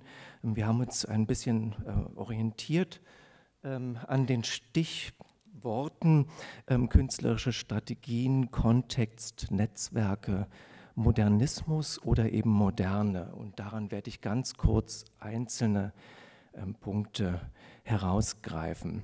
Was mich besonders interessiert hat, und das ist eigentlich auch mein Ausgangspunkt ähm, ähm, ja, meiner Arbeit, ähm, mein Beitrag zu dem Buch, ist dieses, diese Arbeit äh, von Friedel Dicke Brandeis, ähm, wir sehen ähm, einen perspektivisch angelegten Raum von den Ecken, wenn man mal vom unteren Abschnitt absieht, Fluchtenlinien zentral jeweils ähm, sich schneidend, imaginär hinter dieser roten Fläche. Das kann man sich denken. Davor ein Mann in die äh, nach oben an die Decke blickend. Es gibt dort eine Öffnung. Man könnte von einem Atrium sogar auch bei diesem Raum sprechen. Und daneben ein roter Stuhl, ähm, sicher ähm, ein Tonetstuhl oder zumindest ein Buchholzstuhl, kann ja auch Kohn sein. Was hat es mit dieser Arbeit auf sich? Also ich persönlich habe ähm, ein bisschen weiter geblickt und äh, ähnliche Strukturen, ähm, Aufbauten, formale äh, ähm, Vergleichbarkeiten ähm, gesehen, gefunden. Mich interessiert jetzt weniger die Figur jetzt hier ähm, der Studie zu Anna Selbtritt als der Raum, in dem die Figur sich befindet, nämlich wieder ein ähm, offenbar perspektivisch angelegter Raum, jetzt aber nicht ähm, kubisch an, ich meine jetzt ähm, würfelförmig angelegt, sondern leicht über Eck, aber wir haben ganz klar wieder eine Raumbildung und darauf kommt es mir jetzt eigentlich an, eine Raumbildung also. Ähm, die erst, das erste Blatt, also der Mann im Zimmer und die geometrische Figur, das ist das, was mich interessiert hat bei der Arbeit. Und wenn ich jetzt auf etwas, was Ihnen allen sehr wohl, zumal in Wien bekannt ist, äh, verweise, ähm, dann habe ich versucht, eben dort eine Beziehung herzustellen zu dem, was sich hier auf der Buchseite findet. Also die Seite stammt klar aus Ernst Machs Beiträge zur Analyse der Empfindung von 1886, ein Buch, das in der zweiten Auflage dann um 19, 1900 erschien und dann zwischen 1910 und 19, nein, 1900 und 1930 äh, sehr viele Auflagen ähm, erhielt. Ich habe jetzt die genaue Zahl gerade gar nicht parat, aber es sind über zehn Auflagen. Dann auch übersetzt, ganz wichtig, ins Russische, ins Englische, Französische und Spanische und Italienische. Man kann von einem extrem erfolgreichen Buch sprechen und die intellektuellen Kreise, zumal in Wien sowieso, haben sich damit auseinandergesetzt. Ähm, wir müssten jetzt ein bisschen uns näher diese Figur anschauen, die mich sehr interessiert. Und ähm, Ernst Mach hat hierzu ähm, zu diesem Perspektivbild, das er nicht erfunden hat, das bereits schon sehr, sehr lange Zeit bekannt war, also 50 Jahre ungefähr, ähm, hat sich hier ähm, geäußert und da möchte ich ganz kurz drauf eingehen und ich muss jetzt mal schauen. Ja, er ähm, unterscheidet dieses Perspektivbild und darauf kommt es jetzt an. Ähm, meine Arbeit beruht nicht darauf, ähm, Ähnlichkeiten oder Vergleichbarkeiten zu finden, sondern eher die Unterschiede, die Abgrenzungen. Und damit wären wir bei der künstlerischen Strategie. Für Ernst Mach basiert das, was sich hier zeigt, nämlich die Raumbildung, nicht auf Erinnerung, schreibt er, das ist gesperrt gedruckt, ich hoffe, Sie können es lesen. Ähm, und es beruht auch nicht auf Überlegung, ja, also auf Reflexion. Das sind die beiden Größen, unter denen man in der Tradition und in der Moderne gemeinhin den Raum ähm, bezieht. Also die Erinnerung in der Tradition und die Überlegung, das heißt die Reflexion in der Moderne. Mach bricht damit. Er bezieht die Raumbildung auf ein Prinzip, das er entschuldigen Sie es, ähm, das er ökonomisch nennt und ähm, führt damit eine Raumbildung auf, also eine Ökonomie zurück, die körperlich bedingt ist und auf die Empfindungen, auf den Empfindungen rekurriert. Das ist ziemlich entscheidend. Damit wird ähm, ein Denken ähm, des Raumes revolutioniert. Mein Eindruck ist, dass das Friedel Dicker sehr interessiert hat. Wenn wir jetzt diesen beiden, ähm, diese beiden, äh, das Diagramm einmal von Ernst Mach und das Bild von Friedel Dicker Brandeis einander gegenüberstellt. Es gibt einige Parallelen, zu denen ich gleich noch komme, was es künstlerisch heißt. Aber zunächst, ähm, um zu verstehen, was es künstlerisch heißt, ähm, ist es für mich zumindest immer sehr aufschlussreich zu schauen, ähm, was passiert hier. Also, Diagramm. Es wäre also ein Diagramm, ein Schema könnte man auch sagen. Ähm, es geht hier künstlerisch gedacht ähm, um das, was bis, da, bis in, anders, was in der Tradition und zum Teil auch noch in der Moderne aber verändert, eine Rolle spielt bei der Bildentstehung. Nämlich ähm, in, mit dem Schema, wenn man es künstlerisch umverwandelt, aufgreift, verändert, ähm, erfolgt eine Verdrängung ähm, dessen, was vormals, also konstituierend für Kunst war, nämlich Schatten, Umriss, Linie, Kontur. Das Diagramm wäre jetzt die These, also äh, wird also zu einer Repräsentation zur also Produktion von Raum und zwar im Kontext von Empfindung. Das wäre so eine Formulierung ähm, im Zusammenhang mit Ernst Mach gedacht.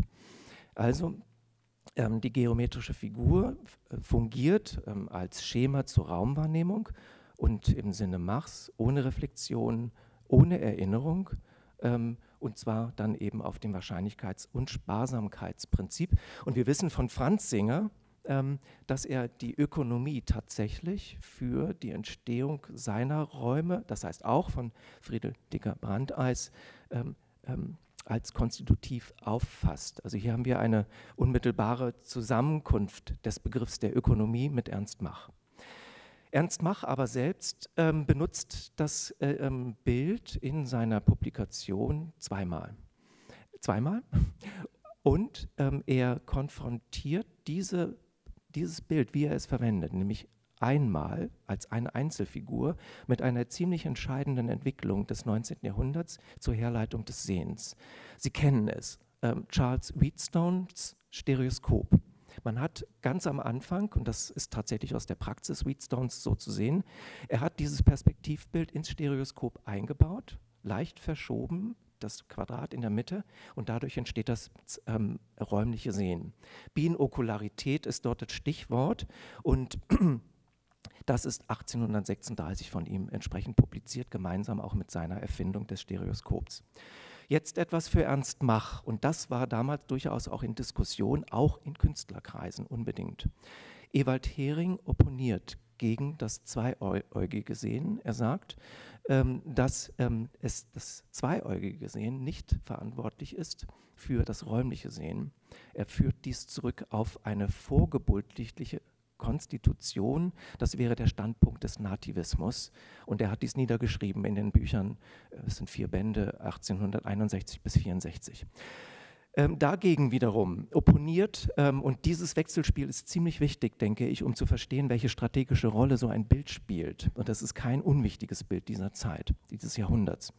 Ähm, dagegen opponiert ähm, beispielsweise Helmholtz. Ähm, er sagt, ähm, im Gegensatz zu Ewald Hering, wir können die, das war das Sehen nicht zurückführen auf die Empfindung, sondern wir müssen die Erfahrung stark machen.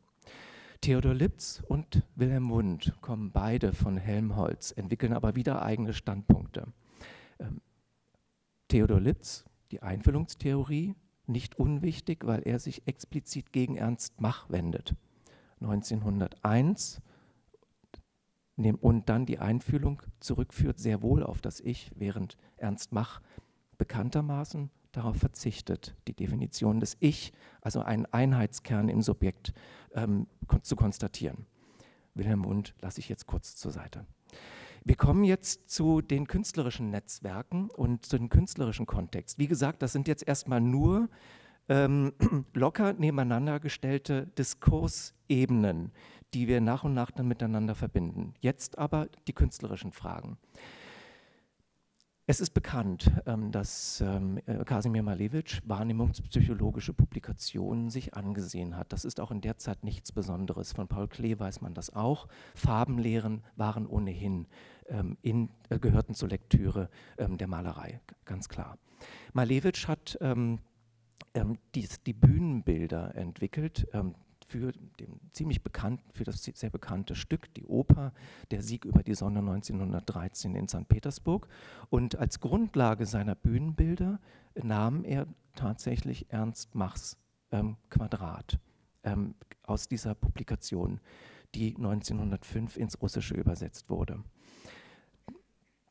Ich brauche jetzt nur ganz kurz auf das schwarze Quadrat zu verweisen. Ich gehe gleich weiter. Ähm, wir müssen uns hier nicht aufhalten, obwohl es interessante Implikationen gibt. Das Schwarz ist hier die Empfindung und das Weiß, umgekehrt, das Weiß ist die Empfindung und das Schwarz das Nichts. Nein, es ist wieder umgekehrt, entschuldigen Sie. Ja, man wird manchmal dann auch ein bisschen durcheinander. Also, das Schwarz ist die Empfindung, es ist wichtig, und das Weiß ist das Nichts. Das Nichts vor, dem, vor der Empfindung. Okay. Jetzt Paul Klee, ein, weiteres, ein weiterer ähm, ja, Protagonist, Künstler dieser Zeit, selbstverständlich, der sich auch mit Ernst Mach auseinandergesetzt hat. Das geht aus seinen Tagebüchern ganz klar hervor. Äh, Marianne Teuber hat dazu auch schon 1979 publiziert, einen sehr lesenswerten Aufsatz, wo sie das sehr genau ähm, ähm, jetzt auch ähm, ähm äh, darlegt. Ich habe jetzt nur zwei Beispiele. Einmal das Gelbe Haus, ein Aquarell ähm, man sieht angedeutet bei Klee durchaus diese Fluchtlinien, die wir von dem Quadrat kennen. Im Hintergrund dann das gelbe Haus und das ist sehr, sehr sinnreich von Klee, sehr vielschichtig auch gedacht. Ähm, man blickt in das, man hat hier ein Aquarell, das auf Empfindung rekurriert. In der Tiefe erscheint ein gelbes Haus. Das gelbe Haus war damals konnotiert mit dem Haus in Arles von Vincent van Gogh. Das hieß das gelbe Haus. Das gelbe Haus ist aber auch gleichzeitig ein Sonnenhaus. Es ist die Sonne, platonisch gedacht, also Wahrheit, gut und wahr, gut und schön und damit auch verantwortlich überhaupt für das Sehen, schlechthin. Die Sonne also als der Grund des Sehens, die, was wir dann sehen, ist ein Haus. Antik gedacht, traditionell gedacht und von Klee hier sehr pointiert ähm, inszeniert, aber eben nicht nur als Form, sondern auch im Sinne also eines Entstehenden. Ähm, da können wir vielleicht noch sprechen nachher. Und jetzt dann nebenan eine Zeichnung, ein Bildnis von 1919 im Hintergrund, den Kopf rahmend. Ich würde sagen, wieder also das Machsche Schema und davor am Tisch, auch kein Zufall meiner Ansicht nach, die gefaltete Visitenkarte von Ernst Mach in Wien 1910, sehr bekannt. Paul Klee ähm, und jetzt komme ich zu dem Punkt der Modernität. Den letzten Punkt, äh, Paul Klee schreibt 1905 in seinem Tagebuch, Scherzaufgabe, stell dich selbst dar, ohne Spiegel und ohne Rückschlüsse von der Art des Spiegels. Genau wie du dich siehst, also ohne den Kopf, wenn du nicht siehst. Man kann das jetzt hier mit ineinander in Beziehung setzen mit diesem Bildnis, das wir schon eben gesehen haben. Ich gehe jetzt aber gleich weiter in Erinnerung mit, der, mit, dieser, äh, mit diesem Tagebucheintrag, nämlich zu Ernst Machs sehr bekannten Bild der Figur 1 aus der Analyse der Empfindungen. Es ist ähm, das, was Klee beschreibt, entspricht ziemlich genau diesem Bild hier. Ähm, und Ernst Mach selbst schreibt dazu, Aufgabe, die Selbstanschauung Ich auszuführen. Auflösung, nicht Lösung, sondern Auflösung, das ist hier wichtig. Man führe sie ohne weiteres aus, um nun dieses philosophische viel Lärm um nichts, also das Nichts taucht hier wieder auf, das mit dem Ich verbunden ist, scherzhaft zu illustrieren und zugleich zu zeigen, wie man wirklich die Selbstanschauung Ich ausführt, entwarf ich obige Zeichnung, die hier rechts steht.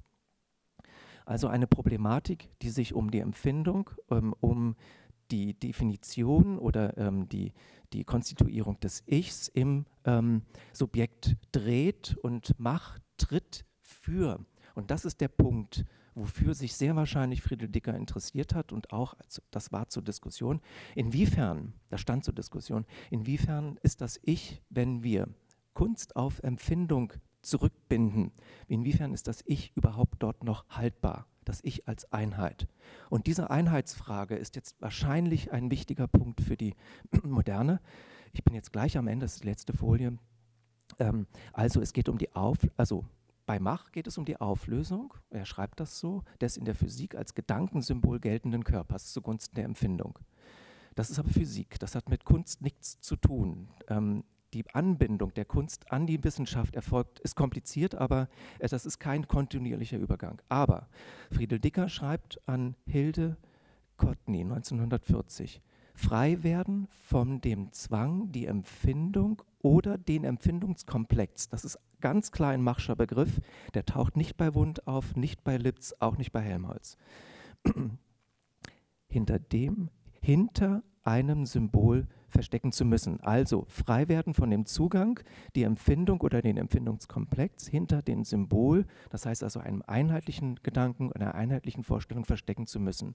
Das heißt, das Symbol, das Einheitliche ähm, existiert nicht mehr, im Vordergrund steht die Empfindung und dies bedeutet, heißt aber ein Freiwerden. Ja, und dies ist künstlerisch konzeptuell mit einer Verabschiedung des Einheitsgedankens wahrscheinlich verbunden. Gut, also. Ja, vielen Dank.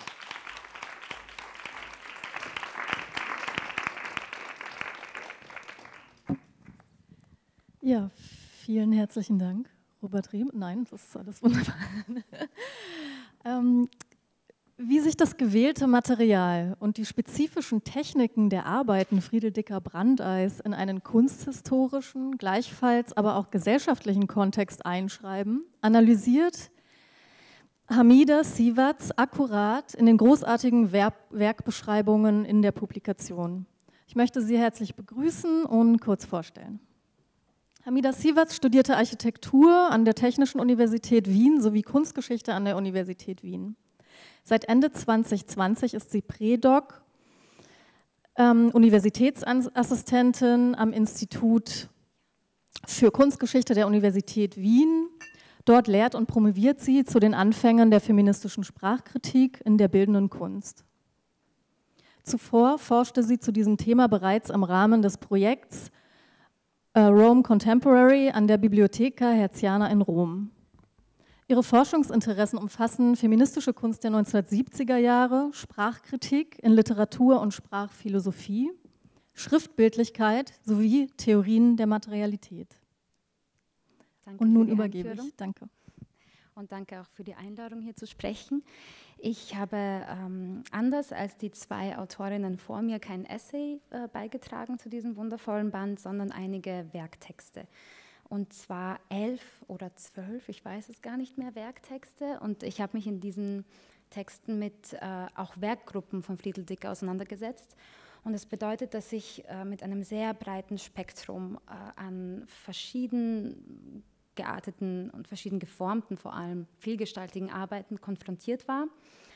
Und äh, dementsprechend möchte ich mich äh, so ein bisschen mal wieder, und ich bleibe dem Thema des Panels treu, dieser Heterogenität in Dickers Werk ähm, im Kontext der klassischen Moderne widmen. Aber heute würde ich gerne zwei Arbeiten von Friedel Dicker-Brandeis zum Anlass nehmen, um ein Gespräch über den Platz ihrer Formensprache innerhalb der ästhetischen Paradigmen der klassischen Moderne anzustoßen. Obwohl die Werke nicht in der Sammlung der Angewandten vertreten sind, ihr Verbleib ist ungewiss, erscheinen sie als geeigneter Ausgangspunkt für eine solche Diskussion. Denn die, sie sind im allerersten Bauhauskatalog in der Kategorie freie malerische und plastische Arbeiten der Meister, Gesellen und Lehrlinge abgedruckt. Der Katalog erschien begleitend zur ersten Bauhausausstellung 1923. Dicker ist darin mit gleich zwei Abbildungen vertreten, mit einem Aquarell und einer aquarellierten Zeichnung, wie wir hier sehen. Mit diesen hat sich Dicker bzw. wurde Dicker innerhalb des Bauhausgefüges also repräsentiert. Sonderbarerweise fehlt in der Bauhausbezogenen Dicker-Rezeption, wie wir heute auch schon ein paar Mal gehört haben, die übrigens häufigste Perspektive auf ihr Werk. Äh, es fehlt eine Besprechung dieser Aquarelle, fast gänzlich. Also sie werden hier und da am Rande erwähnt. Widmen wir uns also knapp den Umständen dieser damals als repräsentativ erachteten Arbeiten Dickers. Aus Zeitgründen kann auch leider ich mich nicht diesen Aquarellen im Detail widmen. Das Bauhaus, wo sie entstanden sind, hat sich bekanntlich nicht als eine Traditionsinstitution verstanden, sondern als eine, die neue Formen fordern wollte. Der erste Bauhauskatalog verpflichtet sich demgemäß einer Vorführung der avantgardistischen Form, Material und Medienvielfalt der Lehrenden und Lehrlinge. So dienen die Aquarelle im Kontext des Katalogs zunächst dazu, sich dezidiert von den anderen Werken, die darin gezeigt sind, zu unterscheiden. Hinsichtlich dieser übergeordneten Konzeption darf nicht außer Acht gelassen werden. Oh, ich bin ganz klein. Äh, das, es ist unklar, inwiefern äh, es einer Bauhausschülerin und zeitweise Lehrassistentin zustand, selbst auszuwählen, ähm, welche Arbeiten hier in diesem Katalog von ihr gezeigt werden. Außerdem wurden Dickers Arbeiten just in jenem Jahr gedruckt, 1923, als sie das Bauhaus verließ. Im Kontext der Moderne hat sich das traditionell für Blumen- und Landschaftsmotive reservierte Aquarell längst im technischen Vokabular der Avantgarden eingenistet. Wir denken an die Aquarelle der frühen 1910er Jahre, etwa von Gabriele Münter, August Macke oder Wassily Kandinsky. Abgesehen von der Technik aber stellt sich die Frage, ob auch stilistisch konkret über diese Bilder gesprochen werden kann. Viele kunsthistorischen Texte und auch Rednerinnen heute haben bereits auf die Schwierigkeit einer endgültigen Einordnung von Dickers Schaffen aufmerksam gemacht. Denn die Künstlerin verkehrte in vielen Feldern und Szenen. Doch könnte womöglich zumindest ein für Dicker persönlicher ästhetischer Kontext der Arbeiten spezifiziert werden? Frage. Auch hier tun sich Probleme auf. Denn wenn wir die undatierten Aquarelle mit Arbeiten aus dem Sammlungskorpus der Angewandten grob, ganz grob vergleichen, fällt auf, dass ihre partikuläre Erscheinungsform und kindliche Ästhetik einmal mehr aus einem ohnehin sehr heterogenen Bild des Gesamtwerks Dickers herausfällt. Dennoch, obwohl es schwierig ist, eine handfeste Formverwandtschaft auszumachen, lassen sich auf ästhetischer Ebene ein paar sehr lose Querverbindungen herstellen. Und zwar zu solchen Arbeiten, die ebenso aus ihrer Bauhauszeit stammen. Anhand der zerfransten grafisch-linearen Strichführung oder der Bäume und einiger kleiner Figuren äh, können etwa Parallelen zu zwei Einladungen für Bauhausabende gezogen werden. Bei den gezeigten Einladungen handelt es sich, genauso wie bei den zwei Aquarellen, um offizielle Aufträge, die von Seiten des Bauhauses an Dicker herangetragen wurden.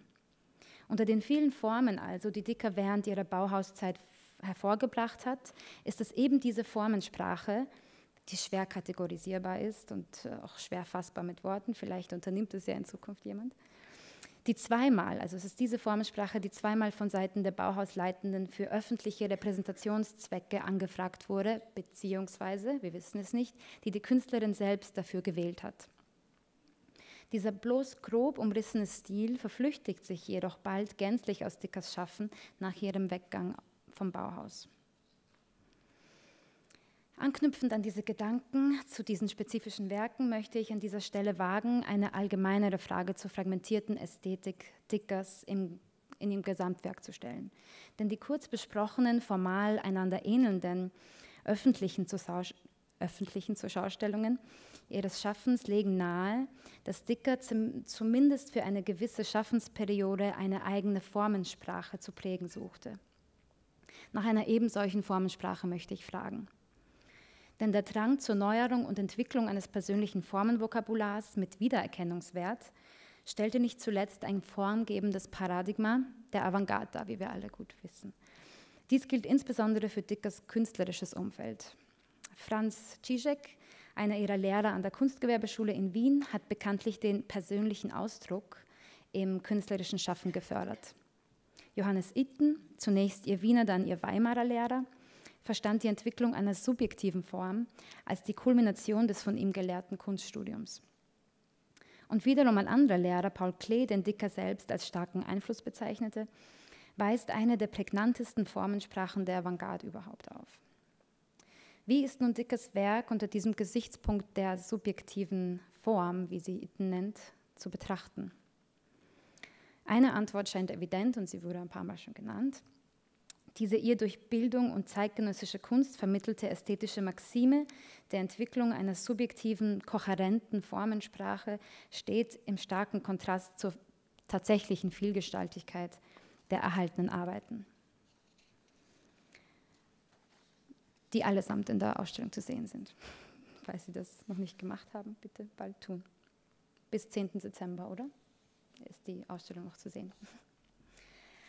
Auch aufgrund dieses Kontrasts zu anderen Avantgarden wurde die stilistische und mediale Vielfalt dementsprechend oft als auszeichnendes Charakteristikum und Stärke von Dickers Kunst betont.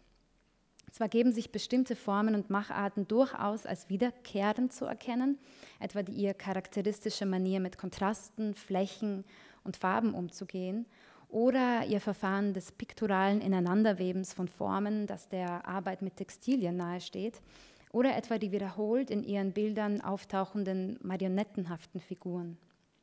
Insgesamt erscheint Dickers Werk jedoch eher von einer kräftigen ästhetischen Vielfalt geprägt zu sein. Eine andere Antwort auf die Frage nach fehlender formaler Kohärenz in Dickers Werk könnte hervorheben, dass der Eindruck der Heterogenität aus dem fragmentiert erhaltenen Bestand entsteht. Schließlich könnte sich der Blick auf ihr Werk mit der potenziellen Entdeckung weiterer Arbeiten schlagartig ändern. Nicht zuletzt erschweren auch eventuelle Zuschreibungsfragen die Charakterisierung einer subjektiven Formensprache. Diesbezüglich muss betont werden, dass sich Dicker fortwährend für kollektive, für kollektiv künstlerische Arbeit stark gemacht hat. Das gilt sowohl für ihr eigenes Schaffen als auch für ihre Kunstpädagogik. Wiederum eine andere Antwort wird Dickers Formenvielfalt der Tatsache zuschreiben, dass die Künstlerin keine starke Trennung zwischen bildender und angewandter Kunst machte, wie wir heute schon gehört haben. So handelt es sich bei vielen erhaltenen Blättern um Vorstudien für Theater, Skulptur, Textil oder Architektur. Das Werk dieser Künstlerin unterwandert abermals mediale und verfahrenstechnische Kategorien und birgt auch dadurch das Potenzial, die Avantgarde aus einer ungeahnten Perspektive neu zu vermessen. Diesbezüglich ist stellenweise in der Literatur die berechtigte Frage zu finden, ob die Heterogenität von Dickers Gestaltungen nicht auch als ein subversiver Einwand gegen ein zu stark vereinheitlichendes Stilparadigma der Avantgarde zu lesen ist. als bewusste Gegenwehr kontra Konformität. Tatsächlich trägt Dicker eine solche 1943 explizit zur Schau, wenn sie sich in einem Vortrag in Theresienstadt gegen das Fertigprodukt, gegen abgestempelte ästhetische Vorstellungen und für die konventionsfreie Kunst der Kinder ausspricht. Hier spricht die erfahrene, die mittlerweile erfahrene Kunstpädagogin Friedel Dicker Brandeis. Aber wie verhält es sich mit der vorangegangenen Künstlerin? Zwar können diese zwei Tätigkeitsbereiche nicht klar voneinander getrennt werden in ihrem Fall, da sie bereits am Bauhaus auch Lehrtätigkeiten nachging, Assistenzlehrtätigkeiten, doch kann trotzdem nach der Künstlerin Dicker gefragt werden, die, wie aus Briefen bekannt, versuchte, eigenständige Projekte aufzubauen und ihre künstlerischen Arbeiten zu verkaufen. Es sind eben diese finanziellen Bestrebungen, die mich dazu verleiten, eine letzte Antwort auf die Frage nach den Ursachen der Heterogenität in Dickers Werk vorzuschlagen. Denn mir scheint im Falle Dickers die Problematik einer Verunmöglichung der Ausarbeitung einer eigenen Formensprache vorzulegen. Eine Verunmöglichung, die durch Klasse, Geschlecht, Herkunft sowie politische Zugehörigkeit bedingt ist. Ich schlage diese intersektionalen Faktoren nicht als ausschließliche, aber durchaus als wirkmächtige Ursachen sowohl für Dickers formale Pluralität als auch ihre mediale Diversität vor. Denn mehr noch als die experimentierfreudige und praxisorientierte Ausbildung, die Dicker genossen hat an der Kunstgewerbeschule in Wien oder am Bauhaus, scheinen mir diese Faktoren, die üblicherweise als werkextern gehandelt werden, bei Dicker formbestimmend gewesen zu sein. Formbestimmend insofern, als dass die Künstlerin in der Entwicklung eines kohärenten Stils von eben diesen sozialökonomischen Faktoren verhindert, aber auch geformt wurde. Klasse, Geschlecht und Herkunft manifestieren sich formal in den zahlreichen ästhetischen Brüchen in Dickers Werk. So sind heute bloß Ansätze einer eigenen Formensprache zu finden. Lediglich blitzt hier und dort eine ästhetische Verwandtschaft auf, verflüchtigt sich aber auch bald, etwa in den anfangs gezeigten Arbeiten, also den Aquarellen im Bauhaus und den Einladungen oder den Ölgemälden einiger Exiljahre, wie wir sie hier sehen. Diesbezüglich sei kurz auf einen der vielen, doch wohl prägnantesten Stilbrüche bei Dicker hingewiesen, die Flucht aus Wien nach Prag 1933. Dickers Exil führte etwa zur Verknappung der Materiallage für die künstlerische Produktion so gibt sich die Flucht als Faktor einer bestimmten Formgebung zu erkennen, die teilweise der medialen Spontanität geschuldet scheint. Deutlich kommt das bei Verhör 3 zum Vorschein. Hiervon gibt es äh, verschiedene Versionen. Ich glaube, zwei sind in Prag in, im Museum zu finden und waren im Lentos auch zu sehen. Vielleicht haben einige von Ihnen die Arbeiten gesehen. Äh, aber hier es scheint es sich um einen improvisierten Malgrund zu handeln, auf dem die Figur ausgearbeitet ist. Der Malgrund ist Karton. Also bildgestalterisch hat sich hier die Annonce-Sektion einer tschechischen Zeitung als modulierende Gesichtsschraffur in die Komposition eingeschrieben. Stilistische Merkmale resultieren hier einerseits teilweise aus medialer Not und andererseits aus einer wohl politisch bedingten Umorientierung, von der Stephanie Kitzberger in ihrem Text äh, sehr, sehr ausgiebig spricht. Äh, und diese politisch bedingte Umorientierung bedingt das Motiv des Bildes.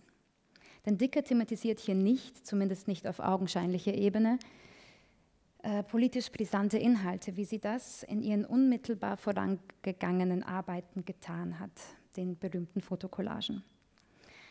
Sowas könnte sie nämlich ähm, könnte zu einer weiteren Verhaftung führen, was der Grund zu ihrer Flucht war. Die Fotokollagen lassen sich zwar medial mit Verhör in Verbindung bringen, denn beide sind mit Zeitungsausschnitten kollagiert. Auch weisen beide den Einsatz des für Dicker typischen Farbnebels auf. Doch stilistisch wie auch motivisch sind sie dezidiert anders.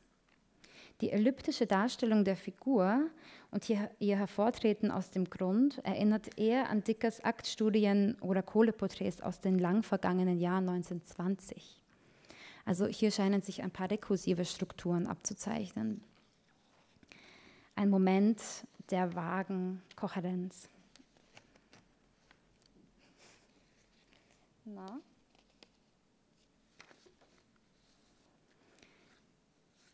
Insgesamt kann aber festgestellt werden, dass lebensumständliche Verwerfungen bei Dicker oft mit stilistischen Verwerfungen einhergehen und konkurrieren. Aber auch vor dem Fluchtjahr verunmöglichen sozioökonomische und geschlechtsbezogene Faktoren eine zielgerichtete Entwicklung einer subjektiven Formensprache.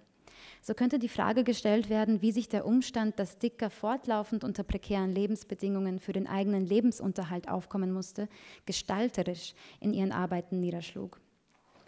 Die Notwendigkeit, Geld zu verdienen, hat zunächst ihren sattelfesten Umgang mit Techniken und damit ihre beachtliche künstlerische Medienvielfalt unterstützt die vom Theaterentwurf, typografischer Setzungsarbeit, kollagierten Werbeprospekten über Webtechniken bis zur architektonischen Entwurfszeichnung und darüber hinaus reichte.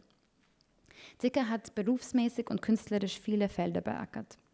In ihrer Laufbahn wechseln sich Lehrtätigkeit, Kostümbildnerei, Arbeit an Theaterrequisiten, Architektur, Werbe, Spielzeug und Textilarbeit – politisch-bildnerisches Engagement und Kunstpädagogik ständig ab.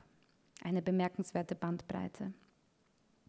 Zuletzt sei noch auf, darauf hingewiesen, dass ihre stilistisch kohärentesten Arbeiten, meiner Ansicht nach, ausgerechnet in der stabilsten und längsten Gewerbstätigkeit ihrer Karriere zu finden sind, in den gemeinsamen Architekturentwürfen mit Franz Singer.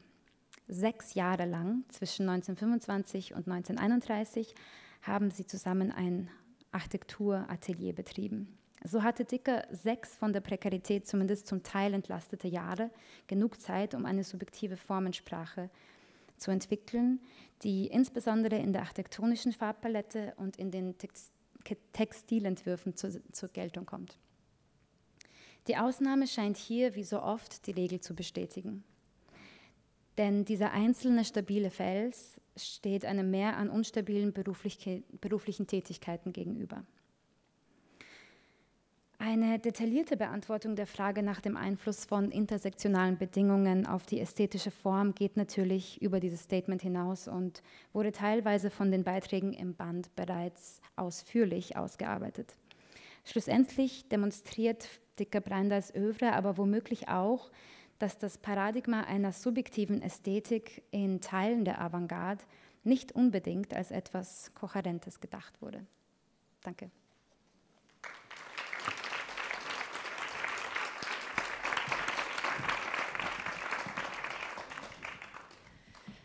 Vielen herzlichen Dank. Ähm wir möchten jetzt die Diskussion gleich ähm, ins Publikum auch öffnen. Ähm, ich hätte vorab eine, eine Anmerkung, ein Kommentar, was vielleicht in eine Frage münden würde. Und zwar würde ich gerne äh, nochmal darauf zurückkommen. Daniela, du hast ähm, über Elastizität gesprochen, sowohl also im, äh, in ihrer pädagogischen Arbeit, sowohl ausgehend von den Lehrerinnen als auch für die Schülerinnen, als etwas, was ähm, äh, was, was, der, was eine Wichtigkeit in der Lehre haben sollte, um auch, also denke ich, hat sie es formuliert, auf ähm, sich verändernde Bedingungen eingehen zu können, also auch gesellschaftliche Bedingungen.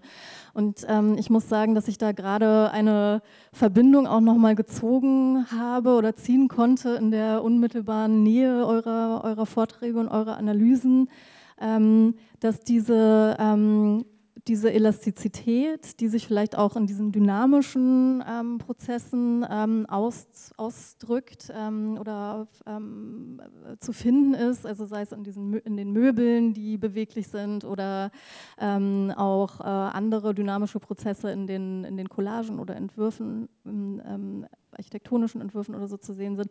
Und dass das auch darauf referiert aus der, ja, aus der äh, aus der ähm, ähm, äh, Not heraus quasi geboren, also aus der unmittelbaren Bedingungen heraus, der, ähm, der gesellschaftlichen ähm, Situation, in der sie sich befand, aus ihrer Erfahrung heraus auf, äh, darauf reagieren zu müssen, also auch da eine Flexibilität zu, zu behalten. Genau.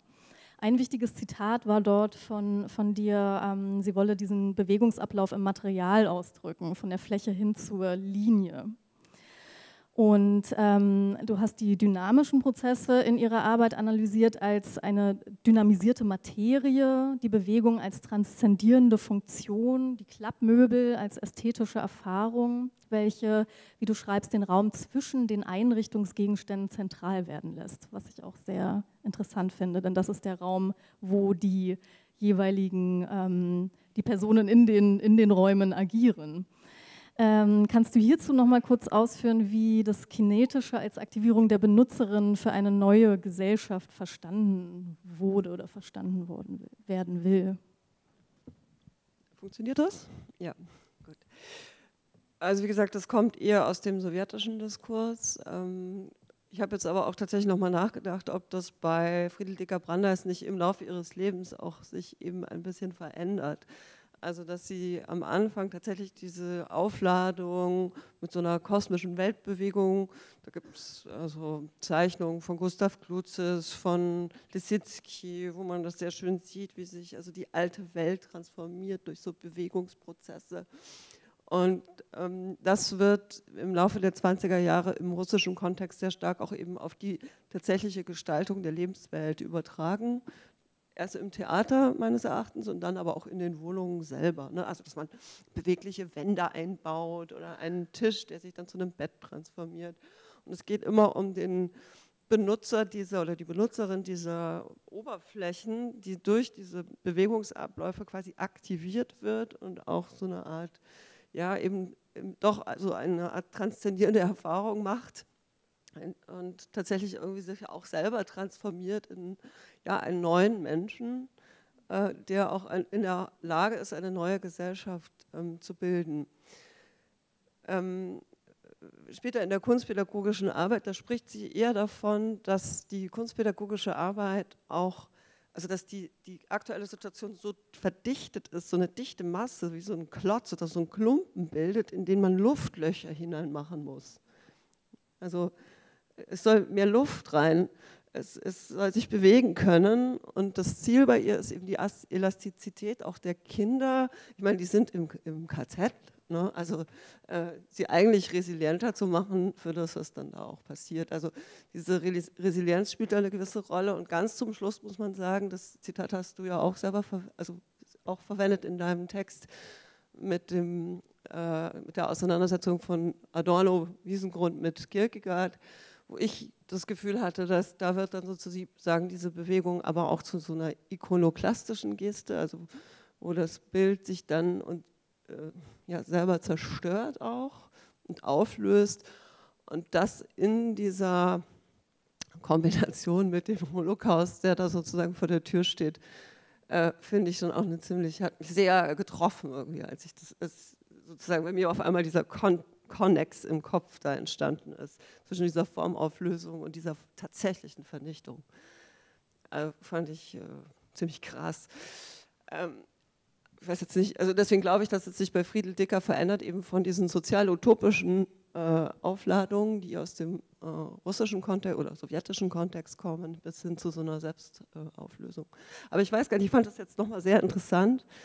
Also ich reagiere vielleicht auch nochmal auf meine Nachrednerin. Ähm, ähm, weil ich eben, also diese, diese Heterogenität im Stil, ich glaube, das kann ja jeder sehen, auch an den Fotos, die jetzt da nochmal gezeigt wurden oder in der Ausstellung. Tatsächlich haben die sich für mich jetzt, nachdem ich die Originale gesehen habe, ähm, wieder ein bisschen relativiert und ähm, haben mich eigentlich nochmal bestätigt, dass es schon so ein durchgehendes Prinzip auch gibt, ähm, dass sich aber eben nicht mit so klassischen stilgeschichtlichen Kriterien, die wir halt in der Kunstgeschichte irgendwie so lernen, beschreiben lässt. Also wir haben ja immer diese schöne Abgrenzung, gibt so was Expressionistisches oder es gibt einen Bauhausstil oder es gibt dann einen Konstruktivismus und der sieht dann so aus. Und dann gibt es noch eine neusachliche ne, Malerei, da könnte man ihre späten Werke vielleicht drunter subsumieren oder kubistisch angehaucht. Also wir versuchen das immer so zu etikettieren. Und wenn man sich davon aber einmal löst und äh, sich vielleicht eher überlegt, dass es vielleicht eine Art von Formprinzip ist, ähm, das sie ähm, interessiert. Und tatsächlich in den Briefen ist das auch nachweisbar, dass sie das wirklich als eine Problemstellung über ihr ganzes Leben lang verfolgt. Äh, also das zieht sich durch mit dieser, dieser Raum und Zeit und wie ich das dynamisieren kann. Ähm, und natürlich habe ich genau das gemacht, bevor ich anfangs so Skrupel hatte. Ich habe sozusagen einen, einen kleinsten gemeinsamen Nenner versucht zu identifizieren, der sich eben natürlich in diese Geschichte der Avantgarde gut einschreiben lässt. Ne, aber ich glaube, es ist in dem Fall nicht aufgesetzt, sondern aus den Werken durchaus auch hergeleitet. Ähm, aber vielleicht siehst du das auch anders also, und bleibst sozusagen auch bei dieser Vorstellung oder eben das lässt sich ja diskutieren, ob diese Heterogenität nicht auch eben eine bewusste Absage ist an so einen Signature-Style oder so einen homogen, so, so, so, so Personalstil, ne, der ja eben auch, wie gesagt, mit diesem eher männlich geprägten, heroischen Modernismus geprägt ist. Ne? Also wenn wir uns Mondrian vorstellen, wie er dann da an seinen, seiner Abstraktion da arbeitet. Ne? deswegen aber ich glaube, also wenn ich jetzt so ein bisschen moderiere. Da ist gerade ähm, eine Frage auch im Publikum. Ich wollte nur ähm, fragen, Hamida, möchtest du da ganz kurz auch erstmal darauf antworten, weil es war ja schon gerade im Dialog angelegt und dann ähm, äh, äh, werden wir auf die Frage im Publikum eingehen. Danke. Ja, äh, danke für das Ansprechen dieser, dieser vielen ähm, schwierigen Punkte bei Dicker. Und, und, du hast jetzt sehr, sehr viel angesprochen, äh, von dem ich vielleicht jetzt nur eine Sache heraus greifen werde. Äh, und zwar die Frage, ähm, die dein Aufsatz eigentlich stellt, nach dem, ähm, ob, ob dieser Wiener Kinetismus und dieser Dynamismus, ob, ob das auch äh, dann zutrifft und ob, ob, das nicht zu stringent gedacht ist in, in Dickers Fall. Äh, beziehungsweise auch deine Erfahrung, die ich eigentlich auch hatte in der Ausstellung, dass obwohl ich die Arbeiten gesehen habe, vor der Ausstellung noch mit ihnen gearbeitet habe, über sie geschrieben, aber wenn sie dann so in einer Art Synopse in der Ausstellung erscheinen, dann sind sie doch gemeinsam sichtbar und dann ähm, ergeben sich auf einmal dann doch so eine Art ähm, formale Macharten, Verfahrensweisen, die sich dann doch über die Jahre hin durchziehen. Was ich aber, ich würde jetzt nicht so weit gehen, es Stil zu nennen, genauso wie du sagst. Also mit unseren Kategorien funktioniert das nicht, aber ähm, wie hast du es gerade genannt? So eine Art Formdyn nein. Formprinzip. Formprinzip vielleicht, ja. Aber äh, ich glaube, dass es sogar bei Dickers kurzer Schaffenszeit äh, sollte es in, in Phasen einfach aus, aufgeteilt werden. Ich nehme an, dass Sie Ihre Interessen dann doch, äh, dass sich diese geändert haben mit der Ausbildung, mit, mit der Arbeit mit äh, Franz Singer, mit den äh, Werkstätten der bildenden Kunst in Berlin, dann, dann wiederum in Prag. Also ich kann mir gut vorstellen, dass, dass wir bei ihr sehr oft äh, dazu neigen, Anachronismen anzuwenden, die Briefe zu lesen und dann das auf einmal auf das ganze Werk äh, zu, äh, umzumünzen, was, was mir sehr oft passiert ist. Und da, da muss man ein bisschen ein, ein, vielleicht einen Schritt, Schritt zurück machen und äh, sich überlegen, in welcher Zeit befinde ich mich da gerade. Natürlich ist es eine sehr löchrige Zeit, wir wissen so wenig über sie das meiste ist ja wirklich schwierig zu datieren. Aber ich nehme an, dass diese Heterogenität in der Gestalt auch mit einer kunsttheoretischen Heterogenität äh, zusammenfällt bei Dicker. Ja, vielen Dank für diese ähm, sehr intensive Auseinandersetzung trotz der kurzen Zeit.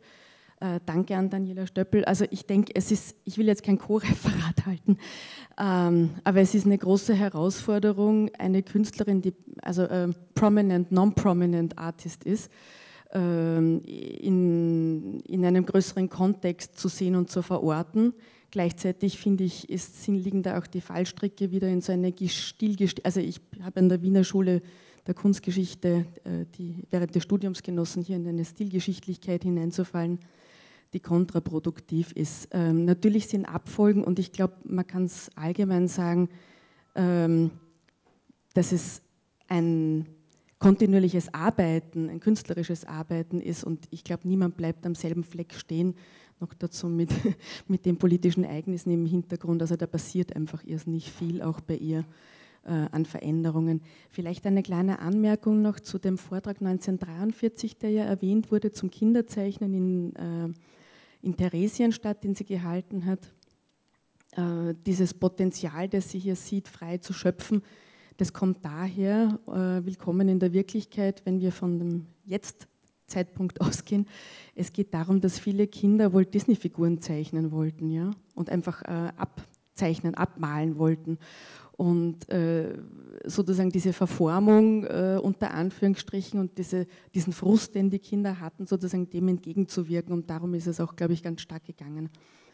Ähm, und das andere ist, ich wollte noch was zur Materialität sagen. Also ich glaube, diese Verhörbilder in Prag, es gibt hier eben auch die Ölgemälde, ich glaube in dem Fall nicht, dass es aus einer Materialknappheit ist. Sie hat damals in Prag an einer sehr prominenten Stelle gewohnt, in Theresienstadt sehr wohl, aber wie wir von Ausstellungen wissen über Theresienstadt und die anderen Künstler und Künstlerinnen, ähm, wie soll man sagen, es war sicher eine Frage des Self-Management und der Organisation, Material zu bekommen. Das war sicher knapp, aber ich glaube, sie haben einfach aus dem Vollen geschöpft, was gegangen ist. Aber ich glaube, in der Prager Zeit denke ich eher, dass da dieses moderne Medium der Collage, äh, das natürlich viel weiter zurückgeht, also äh, 20 Jahre zuvor, wie wir wissen, also mit Zeitungspapier und so weiter zu arbeiten. Ich glaube, dass da eher die Wurzeln äh, dafür zu suchen sind. Also in Theresienstadt ganz sicher, ja. Danke. Und falls irgendjemand was über diese ähm, aquarellierten Arbeiten weiß, die im Bauhauskatalog ausgestellt wurden. Ja, da hinten. Mhm. Vielleicht. Wenn ich mal eine Frage ans Publikum stellen ja, da, darf. Äh, danke für, den, für die interessanten Beiträge. Ich äh, sehr, wäre sehr vorsichtig, das mit Intersektionalität, ich weiß, das ist modern, das macht man jetzt, äh, zu verbinden, weil ich weiß nicht, ob man Friedel Dicker jetzt in das Prekariat des äh, leider verdienen müssenden Künstlers äh, hineinstecken kann, zumal die Jahre bei Franz Singer im Atelier vielleicht auch nicht die einfachsten waren, wie wir aus den, sagen wir mal, persönlichen, privaten Beziehungen wissen. Ähm, ich wollte aber gleich ähm, auf dieses Aquarell eingehen. Das können Sie ab übermorgen in der Ausstellung im Wien-Museum sehen. Also das Aquarell existiert noch, ist im Privatbesitz, ist aber auch schon länger publiziert, also nicht ganz neu. Ähm, ich wollte fragen, dass man kommt äh, äh, bei, bei Friedel Dicker ja äh, äh, auf den Geschmack und muss das gleich wieder lassen, äh, die guten alten Zuschreibungsfragen zu stellen oder man wird versucht, das zu tun. Aber es ist doch hm, schwierig, glaube ich, die Zeichnungen, die im Atelier entstanden sind, so in Bausch und Bogen ihr zuzuschreiben, die nämlich, und das wissen wir zum Teil auch aus Quellen, wahrscheinlich ziemlich sicher großteils nicht von ihr sind. Auch nicht von Franz Singer, weil das konnten die beiden nicht so gut wie die anderen Damen, die dort im Atelier gearbeitet haben und die man heute nicht mehr kennt, also äh, Leopoldine Schrom und Anna Sabo, die vor allem letztere äh, sehr viele dieser Axonometrien gezeichnet haben, was dann für mich wiederum ein Problem äh, oder eine Schwierigkeit entstehen lässt, wenn man aus diesen Axonometrien, auch aus dem Klappen der Möbel, die ja wiederum stark von Franz Singer beeinflusst sind, äh, Rückschlüsse auf größere kunsttheoretische Überlegungen oder Prinzipien zieht. Ich will nicht die Friedel Dicker klein machen, im Gegenteil, aber ich glaube, dass man, dass, man, dass man an den Vorträgen gesehen hat, wie schwer es ist, dieses so vielfältige und faszinierende, aber eben auch inhomo, aus uns inhomogen erscheinende Werk äh, zu fassen. Und ich würde da äh, sehr vorsichtig sein und sehr gerne die historischen Fakten auch auf den, auf den Tisch legen oder zumindest äh, in die Bewertung einbeziehen. Danke. Möchtest du gleich antworten, Daniel? Ja, ganz kurze Fortsetzung sozusagen dieses Gedankens oder vielleicht um es nochmal präziser zu sagen, was vielleicht auch an Friedel Dicker die methodische Herausforderung darstellt für die Kunstgeschichte. Nämlich, dass wir natürlich immer noch eben solche normativen Standards haben, ne? also eben Einheit des Werks oder irgendwie eine Innovationsleistung oder irgendwie eine stilistische äh, Zuordnung. Ne? Also wir haben äh, normative Standards und, das, ähm, und die Herausforderung ist, dass wir diese Standards eigentlich ja in Frage stellen müssen. Dass die sich, also es ist ja nicht nur eine Kanonerweiterung, dass wir jetzt Friedel Dicker in den großen Kanon der wichtigsten Künstler der Moderne aufnehmen. Ich finde, das ist auch ein bisschen falsch gelaufen mit Hilma af Klint. Also nicht, dass sie keine größere Künstlerin ist, aber sie ist zu etwas stilisiert worden, was sie möglicherweise gar nicht war. Und ähm, sondern die Herausforderung ist eigentlich, den, den, unsere Bewertungskategorien äh, zu, zu, transformieren und vielleicht von diesem etwas ist noch Expressionismus oder schon konstruktivistisch oder uneinheitlich sehr negativ bewertet, äh, konnotiert. Ne? Dass man das vielleicht aufgibt, das fällt schwer. Ähm, und vielleicht auch andere, oder, oder wir denken in der Subversion, ne? wir denken immer im, ah, dann hat sie das absichtlich so gemacht. Aber vielleicht gibt sie uns eine ganz andere Problematik mit, die wir halt noch nicht ganz äh, im Griff haben. Ne? Und vielleicht sind ja dann eben auch solche Kontexte eben wie physiologische äh, Überlegungen äh, fast hilfreicher, ne? wenn man das erstmal da rausnimmt äh, und auf einer ganz anderen Ebene verhandelt. Und ich denke, dass genau aus diesem Grund ist es so spannend, dass sowohl dieser Versuch einerseits mit den Texten gemacht wurde, ähm, an einem äh, Kanon entlang oder auch in Abgrenzung dazu ähm, das Werk zu analysieren, aber eben ganz nah an ihren Arbeiten und auch an ähm, den Briefen. Und ähm, vielleicht auch nochmal, um ähm, auf deinen Vortrag nochmal zurückzukommen, ähm, äh, nochmal den Hintergrund auch der ja, das, ähm, das, wo, wo, in welchem Zustand befand sich denn das Subjekt auch in der, in der Zeit? ähm, äh, du und auch Daniela haben beide eine Stelle aus einem Brief äh, zitiert äh, von Friedel Dicker Brandeis, in der sie auf Adorno Bezug nimmt. Ähm, das Zitat, äh, der, der glaube, das Selbstbewusstsein sei kontemplativ, hat sich selbst nicht verstanden. Da er doch sehen sollte, dass er zu gleicher Zeit im Werden begriffen ist und darum kein abgeschlossener Gegenstand der Kontemplation sein kann. Könntest du da noch mal kurz erläutern, wie diese Formulierung des, des im Werden Begriffens ähm, als Adressierung von Zeitlichkeit, Prozesshaftigkeit in ihrem Werk ähm, auch hinsichtlich der, der Dynamiken, der, ähm, der, der Bewegungsdynamiken zu sehen ist? Also, ich glaube, es, ja, es ist an, ja. Ich, das scheint mir jetzt fast die schwierigste Frage. Ja. Ähm, gerade jetzt auch in dem Zusammenhang ähm, mit, mit dem Autor, den, den sie dort zitiert. Ähm, also mir persönlich war es wichtig, ähm, dies ein bisschen auch hervorzuheben und das nicht ähm, also, ähm, also sichtbar zu machen. Also deswegen habe ich diese Passage auch mit hineingenommen.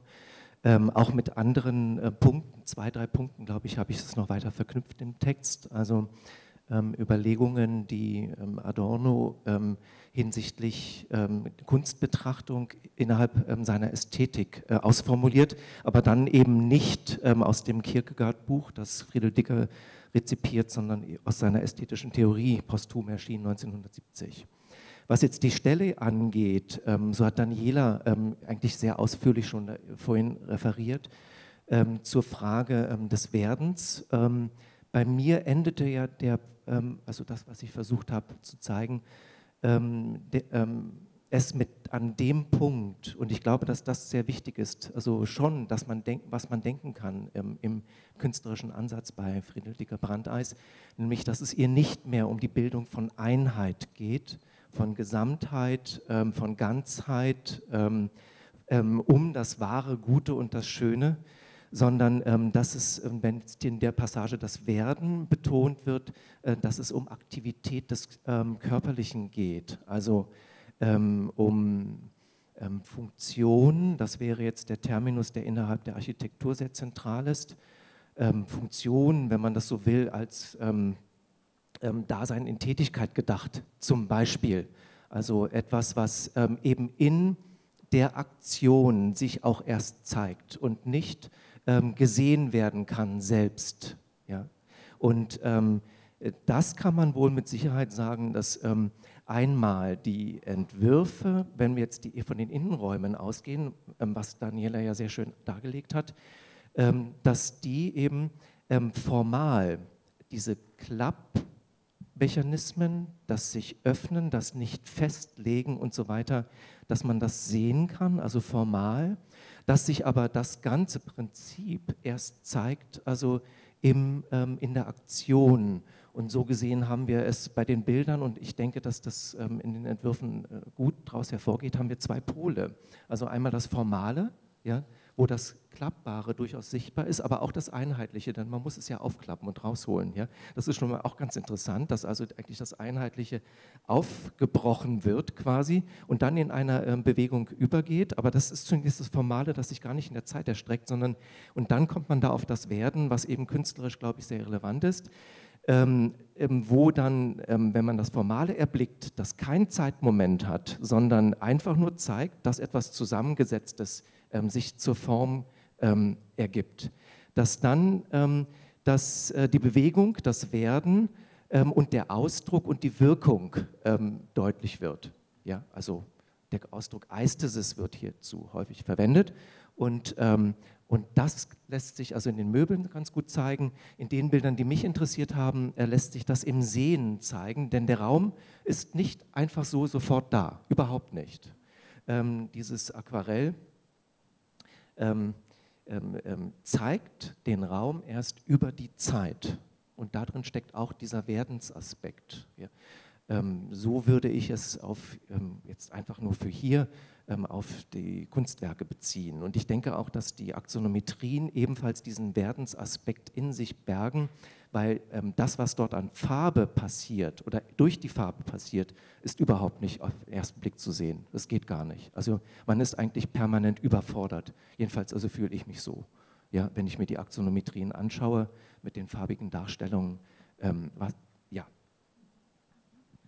Ja, vielen, vielen Dank. Ich fand es doch auch sehr, sehr bemerkenswert, dass ähm, äh, die Auseinandersetzung von Friedel Dicker-Brandeis mit ähm, Kierkegaard und Adorno ähm, es gab noch eine Frage im Publikum.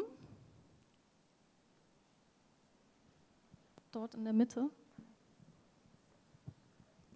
Genau, danke. Also äh, vielen, vielen Dank für die tollen Vorträge. Ähm, mir hat sich so ein bisschen die Frage aufgedrängt, ob man äh, Friedrich Brandeis nicht auch so ein bisschen stärker in eine äh, jüdische Kulturgeschichte einbetten müsste, vor allem eben mit so äh, Fragen der Elastizität etc. Also bei mir ist da sofort dieses Konzept der Wandlungsfähigkeit ähm, aufgekommen, das ja vor allem irgendwie so im Theater, im jüdischen Theater irgendwie so ganz wichtig war und sich ja natürlich auch so zwischen ähm, ja, Zuschreibung oder Fremd- und Selbstzuschreibung quasi irgendwie bewegt. Und ich habe mich da eben gefragt, ob das nicht auch eben so was ist, was quasi nochmal in einem weiteren Kontext ihr Werk bestimmt und sich eben insofern auch auf ihr Werk überträgt.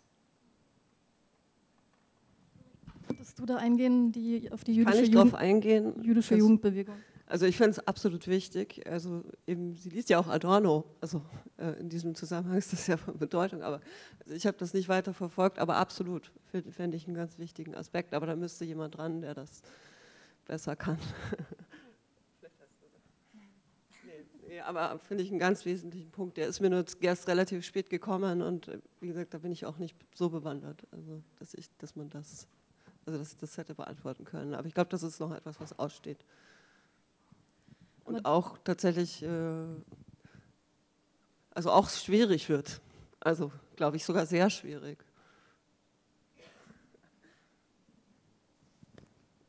Auch vom Level des Aushaltens, ja. Gut, ähm, gibt es noch Fragen? Ansonsten ähm, möchte ich mich sehr, sehr herzlich bedanken bei den Vortragenden und auch beim Publikum. Und ähm, ich freue mich auf den Verlauf, ähm, auf, die weiteren, auf das weitere Panel. Vielen Dank.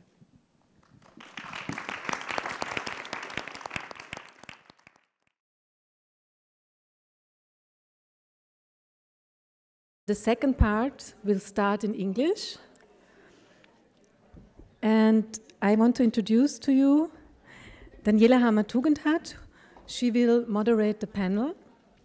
Um, Daniela Hammer-Tugendhat, I don't really maybe need to introduce an Angewandte, but for the people who don't know her, she began her work as a lecturer at University of Applied Arts Vienna as early as 1975 after receiving her doctorate. After her habilitation with a thesis on gender relations in art, she was appointed associate professor at the Angewandte. Since her retirement in 2012, she has been associate with the Angewandte as a honorary professor. Daniela Hammer-Tugendhat has been a strong advocate for gender studies and equality throughout her career. And in 2010, the Austrian government awarded her the Gabriele Possaner State Prize for academic achievements in the service of gender democracy. In 2012, she has awarded the Ring of Honor of the University of Applied Arts. Her research interests are early modern painting, gender studies, art history as cultural studies. I want, only want to mention one publication out of a, a mass she uh, public, publicated. This is The Visible and the Invisible on Dutch painting in, of the 17th century, which was uh, um, published in 2009. Thank you, Daniela, for moderating the next panel. Thank you very much. Is it on? Thank you very much for this kind introduction. Uh, I just want to say that I'm extremely sad that Stephanie Kitzberger can't be with us because I really uh, want to say that Stephanie is really on the core of this uh, whole experience. She was so important uh, for the, uh, for the exhibition, for the book. And yes, I'm sorry, but we will have to manage without her. Yes. Um, we will start with uh, Julie Johnson. Uh, she's Associate Professor of Art History at the University of Texas in San Antonio. She has held Fulbright and EFK residential fellowships in Vienna and was a national endowment for the Humanities Scholar during the academic year of 20 and 21. She is the author of numerous essays on women artists and the book, The Memory Factory, The Forgotten Women Artists of Vienna of 1900. Uh, she has written here in our book now, Between Media, Registering Practices of Knowledge. Please, Julie Johnson, we look forward to listen to you. Thank you very much. I'm interested in the visibility and invisibility of women artists. How, why, and where do the moments of erasure occur and how and when does an artist or a work of art become visible in the institutions of art or its various representational systems? Friedel Dicker was of a generation of artists who were subject to a historically specific erasure. She was an inheritor of the tremendous progress made by a prior generation of women artists who were active in Vienna 1900, but lost her ability to participate in art institutions because of anti Semitism was murdered at Auschwitz, and has been subject to belated rediscovery. I really can't think of a better way to pay attention to an artist than what the editors and organizers have done here. There is not only the current temporary exhibition, but also plans for a permanent installation, both designed by artists, a scholarly book with essays by art and architectural historians, and this event. A new conversation has been launched, which will hopefully invite more research more investigations, more uncovering of sources, and more than one reading of her works. The intercessory efforts made by the curators, edita- editors, and organizers offer a model for other arts organizations to emulate. As the American curator Helen Molesworth once remarked, the way to do diversity is to do it. I'm very glad to participate in this wonderful project and would especially like to thank Cosima Reiner and Stephanie Kitzberger for the invitation to participate in this conversation. One thing I know is true you have to make people care. As we have already seen, Dicker Brandeis provides us with many opportunities to care about her, not only as a designer architect, visual artist, and educator, but also as a collaborative innovator and role model for her engagement with social justice issues. From her place on the art historical margins, she also provides a chance to rethink disciplinary assumptions and norms. She invites us to rethink our models of creativity. She participated in so many different aesthetic strategies, even those typically considered at political odds with one another. For example, the two responses to World War I associated with a constructive or disruptive attitude seem to neatly divide the competing avant gardes of the interwar years or at least this is what we tell our students in the art history survey. But Dicker Brandeis noticeably participated in both the utopianist and critical approaches, which presents an interesting art historical problem. Reviewing her work for an article I wrote for the Austrian History Yearbook, I found only disunity in what we think of as typical artistic development or creative discovery. Searching for a way to account for this, I remembered something I'd heard in another context long ago. I was in graduate school listening to a lecture in a course taught by Barbara Stafford called Ancients and Moderns. In discussing Lord Burlington's Chiswick House, she called his approach an ars combinatoria. How do you invent something new when it's already been done? She asked. He took pre existing forms and reassembled them into something new. This attitude was not unusual in the early 18th century, it was a form of creativity. This model of creativity has not been the default mode in our post romantic world, but it was common in other periods. The philosopher Seneca advised artists or artificers to emulate the cross pollination of the bee, who gathers, sifts, and recombines from multiple sources, finally blending them together into a new invention. Seneca was often quoted in art treatises in the 17th century, such as Franciscus Junius the Younger's, which quickly became part of the Republic of Letters.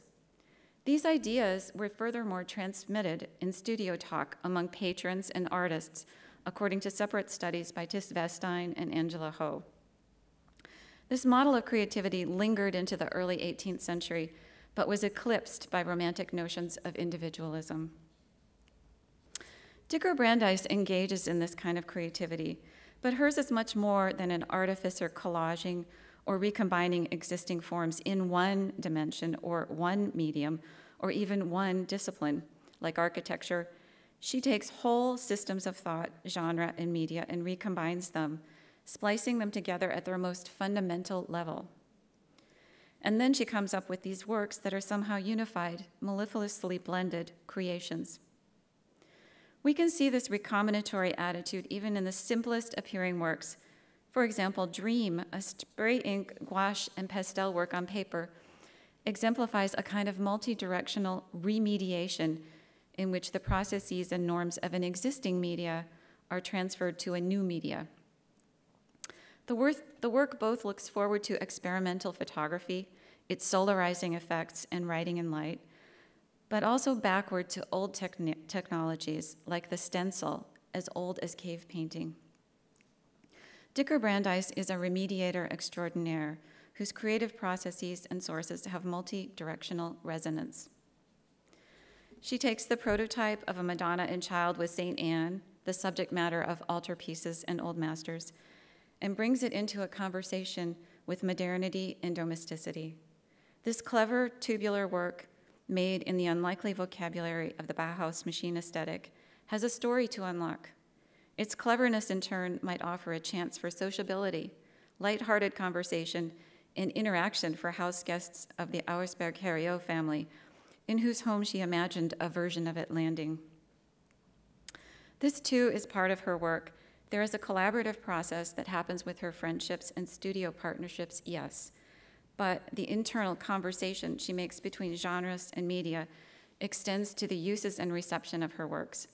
There is an inherent sociability to her work that can be seen in other design projects, like the kindergarten that requires the children to work together to move or set up the furniture.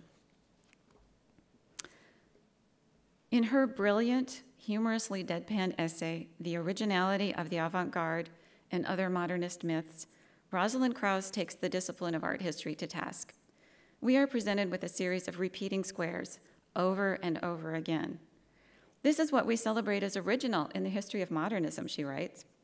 She makes us see how repetitive it all is and to pay attention to our assumptions and discourse around originality. Dicker Brandeis, by contrast, seems never to repeat herself. She has mastery over multiple media and genres, which she endlessly rethinks, splices together in unforeseen ways with an open why not approach. There is no media, old or new, no genre, no dimension, that is inaccessible to her. She is endlessly creating and rethinking, always connecting art to life, and so very modern in her political engagement and social ideals. This, too, is part of her world. Born into the world of the Habsburgs, she emerges as an adult at the end of empire into a century marked by war and political turmoil. She cares about people and social justice issues, there is often a reason behind her aesthetic choices and recombinatory inventions that goes beyond a mere delight in doing something new.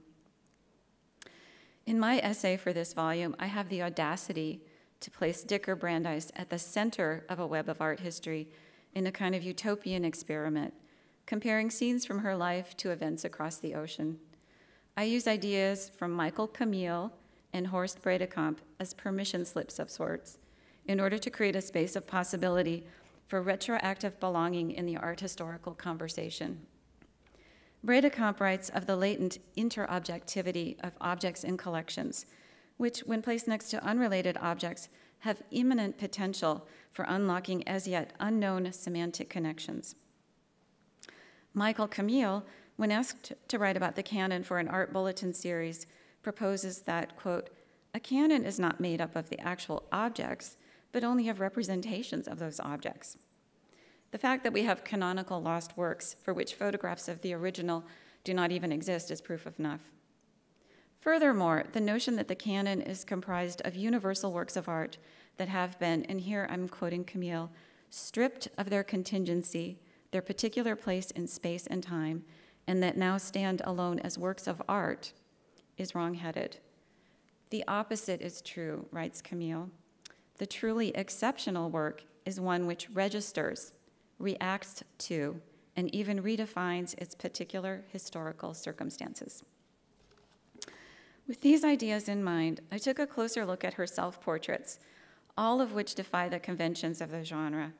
She shows herself from the side, from behind, or riding in a car. She shows an interest in ears and sonority, and paints the back of her own head in what is an immersive scene, a memory of her vulnerability in Interrogation 1. This work in particular registers its historically contingent conditions, not least for her fascination with the typewriter in the context of an interrogation. The typewriter is not a well known subject in art history, but it's become a key object for media theorists and scholars interested in cultural techniques. Although this work is not widely known, I think it has the latent potential to join the canon of endlessly reinterpretable objects precisely because of its historical specificity and theme. The fact that it's been submerged in the shadows of the discipline, absent from the larger conversation, is now part of its meaning as an object. In the essay, I also extend my prior interest in the network or web metaphor to situate her work in life into two kinds of systems. On the one hand, it's a way to understand her active cross pollination and connections to other artists and artistic practices and on the other hand, it's a way to visualize the art historical memory system with all of its latent potential. Certain things become more visible retroactively.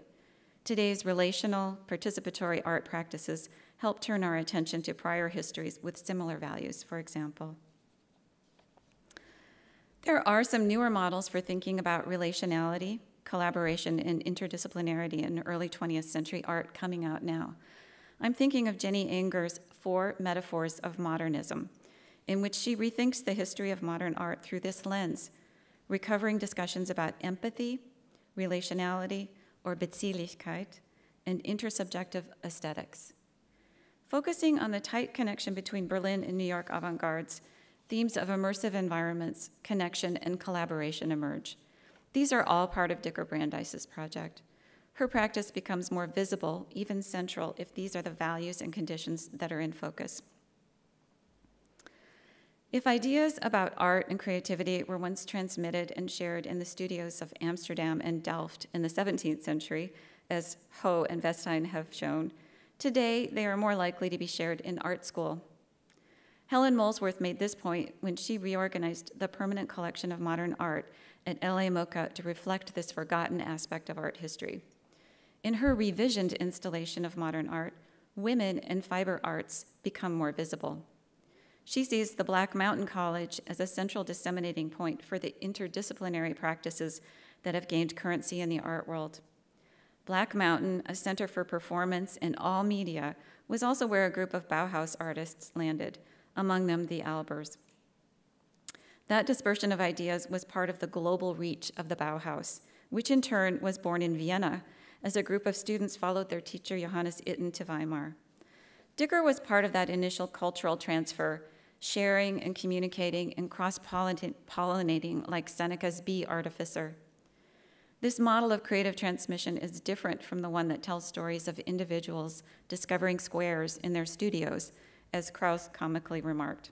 Surely an exaggeration, but funny because we recognize some truth in it. This story of art history is, less, is social, less linear, more open ended, multi directional, and non hierarchical. It is structured more like a network or web, like Indra's net. In the Buddhist tale, each node or pearl is a microcosm that reflects the macrocosm. Everything belongs, and everything is interconnected with past, present, and future potential. In such a universe, we can see the imminent, latent potential for Dicker Brandeis to show us a new, yet very old model of creativity and a purpose for art that can engage a new generation of students who have demonstrated interest in social justice issues, inclusivity, relationality, and connection. Okay. Thank you for your attention.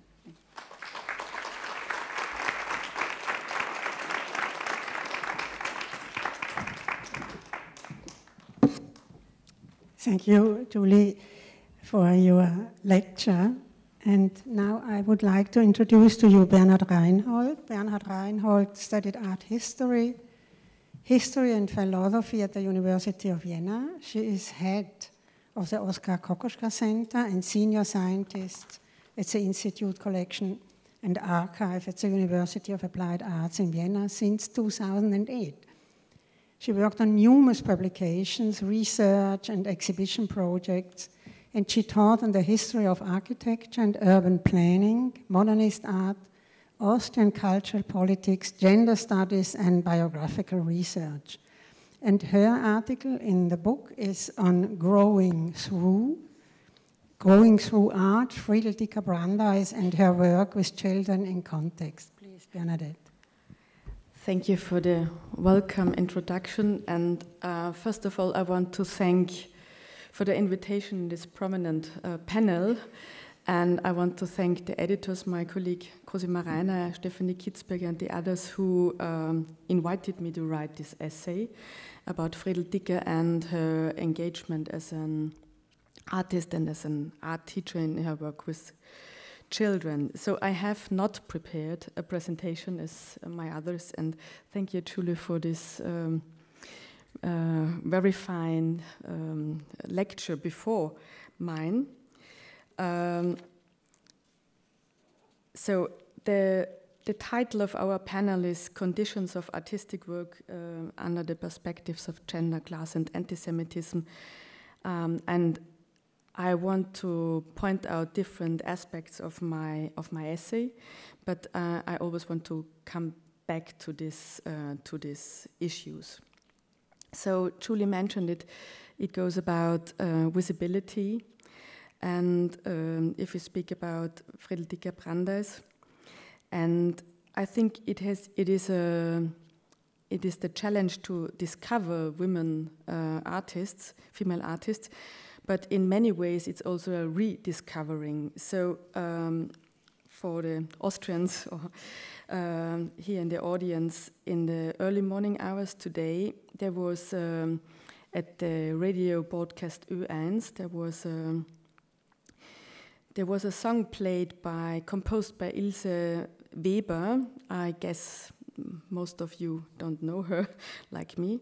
She was born in 1903 in Witkowice and died, I guess, exactly the same day on October the 6th in 1944 in Auschwitz, so she was murdered there.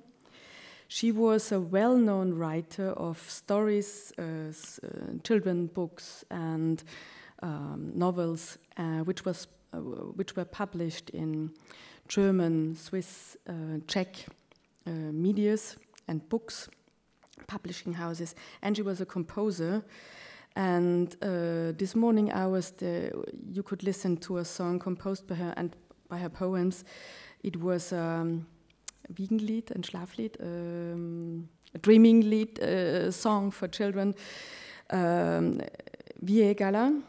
And she was also in Terracin, like Friedel Dicker and I guess the same time.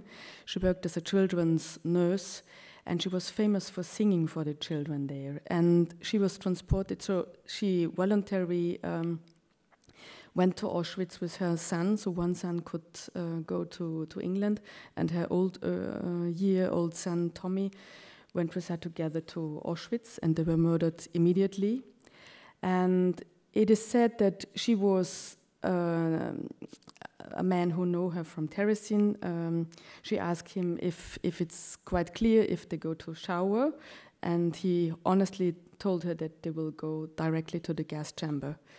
And so it, it is said that she embraced the children around her, which she was, uh, whom she was uh, um, accompanying, and she was recommended to sit down on the floor in the gas chamber, that it goes very quickly, and to sing with the children uh, to make it go through um, very fast. So I think she was a well known writer and maybe not that well known composer. Um, and there is another example I want to exemplify. It's Else Jerusalem. Some of you may know her. She was a writer um, nearly the same age. And in 1909, she wrote a no very, very, very prominent novel. It was called The Heilige Skarabäus, so uh, I would say the Sacred Scarab Skarabäus in English. And it was a scandal because it, um, it was a novel about a bordel.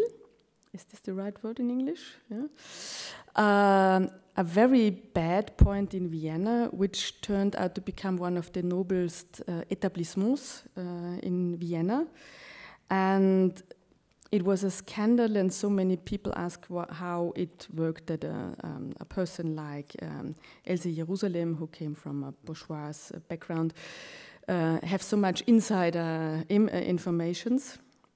And she uh, emigrated to Buenos Aires um, to Argentinian in 1911 with her second husband. She was divorced, and uh, with her second husband, she went to Buenos Aires. And I come back to the, so she died in 43 in, in, in Argentina, but in 1933, when the Gestapo uh, confiscated the um, S. Fischer Verlag, so the publishing house Fischer, everything burned down after that. Uh, there was her manuscripts, and this book had 22 editions. So it was really, really a bestseller. So, and I guess, uh, except some of you in the audience who are experts, uh, know little about her and about this book. So, I think in a way it's um, it's also a challenge to give back visibility uh, to, to, to, to women, to artists, uh, artists, female artists and writers. So, and as Julie mentioned, of course, it's a canon, a question of canon and a question of how we define the canon of Viennese modernism. We all know the great names. I'm head of the Kokoschka Center, so I know what I'm talking about. Kokoschka, Schiele, Klimt, Loos, uh, Kraus, Altenberg, you can, you can uh, continue. And I think there have been so many women in this time we have forgotten, and we really love to rediscover them. So, uh, to come back to Friedel Dicker, I think it's also a question of um, what women we are talking about, and most of them, especially I think uh, Jerusalem or Ilse Weber and Friedel Dicker, were very um, self confident and self conscious uh, in, in her habit and in her, in her life. Um, and before I talk about teaching as an artistic practice, and um, uh, it was mentioned in the panel before that also she was she was highly not only interested uh, in artistry, but she she gave letter lectures in the 40s to her friend Angelini, um, Hilde Kotny uh, Angelini later, and she was in close contact to many as, uh, art historians, for example, Ludwig Münzer, I will mention him later again. So, to come back to the term class uh, in a way, which is uh, in our days an old fashioned uh, word, it seems to me sometimes. So it ha we have to go back to one of the key issues, and that is education. Uh, until now, we know education is something that is hired. So it's um, you have luck or not luck uh, in which family you grow up. And I think uh, Friedel Dicke, she um, she left school definitively when she was a teenager. I think this is the same with uh, Egon Schiele and Klimt, who always had a lack of some kind of intellectual um, education. But um, as both of these very prominent male artists, uh, also Friedel Dicke was very hungry in, in like a sponge, uh, taking up these things. So in my essay, I tried to find traces not only of her teaching, but also uh, as a becoming a teacher. And how do you teach? You learn by yourself, and you learn by your teachers. So I think this is a, um, a key issue, education. And she was she had a petite bourgeois background, as we know, and um, so she didn't attend, for example, the very prominent. Now we know much about it about the private uh, school for girls from uh, Eugenie Schwarzwald, which was she was she was a Germanist in philosophy, so she studied in in Switzerland, and she opened a private school. I think many of you know uh, in Vienna. Uh, the architecture was made by Adolf Loos, and she had prominent teachers like Kokoschka, for example, as an art teacher, very unorthodox in his teaching, of course. Um, there were composing lessons given by uh, Arnold Schoenberg in the afternoon and also by Egon Welesch. Hans Kelsen, so the, the mastermind of our, or what means Verfassung in English, I don't know. Constitution, thanks, of our constitution in Austria, which is set by lawmen, that is uh, um, a beautiful um, work of law work.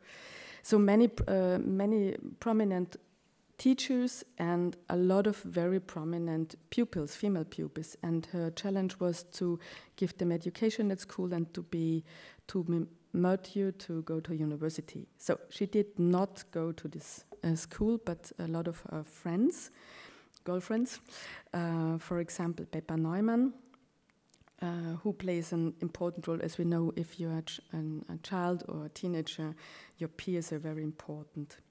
So, but on the other hand, Friedel Dicke, um, of course, there was always, I think, uh, a lack of money and education, not of support, I think, from her home. Um, she was always very clear in her decisions what kind of school or what kind of education um, she wanted to do, and she was uh, without compromises.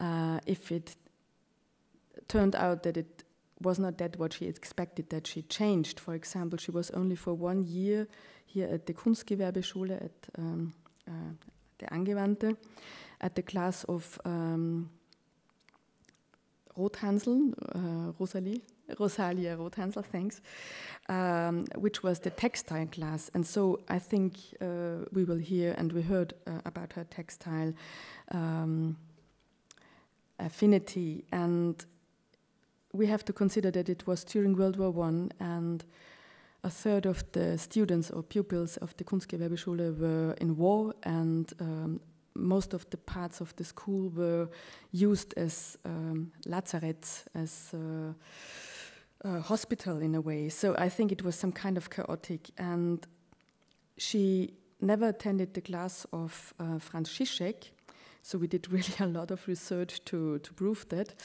Uh, but of course, she got to know who was Franz Zizek and what he did. And I think, as I mentioned it, um, this was a very, she, she, was like a sponge in this way. And um, at this moment in her early years, I think art teaching was not completely on her mind, but uh, how to work. Um, and we have to consider that the art of children as a project of modernity, uh, like the, as breaking with uh, academic or the academism was very important. So the, the art of children, the art of disabled, uh, the art of uh, um, extra-European uh, cultures, uh, folk art, or for, for, for folk, uh, and also the art of children was sozusagen uh, was on the on the screen.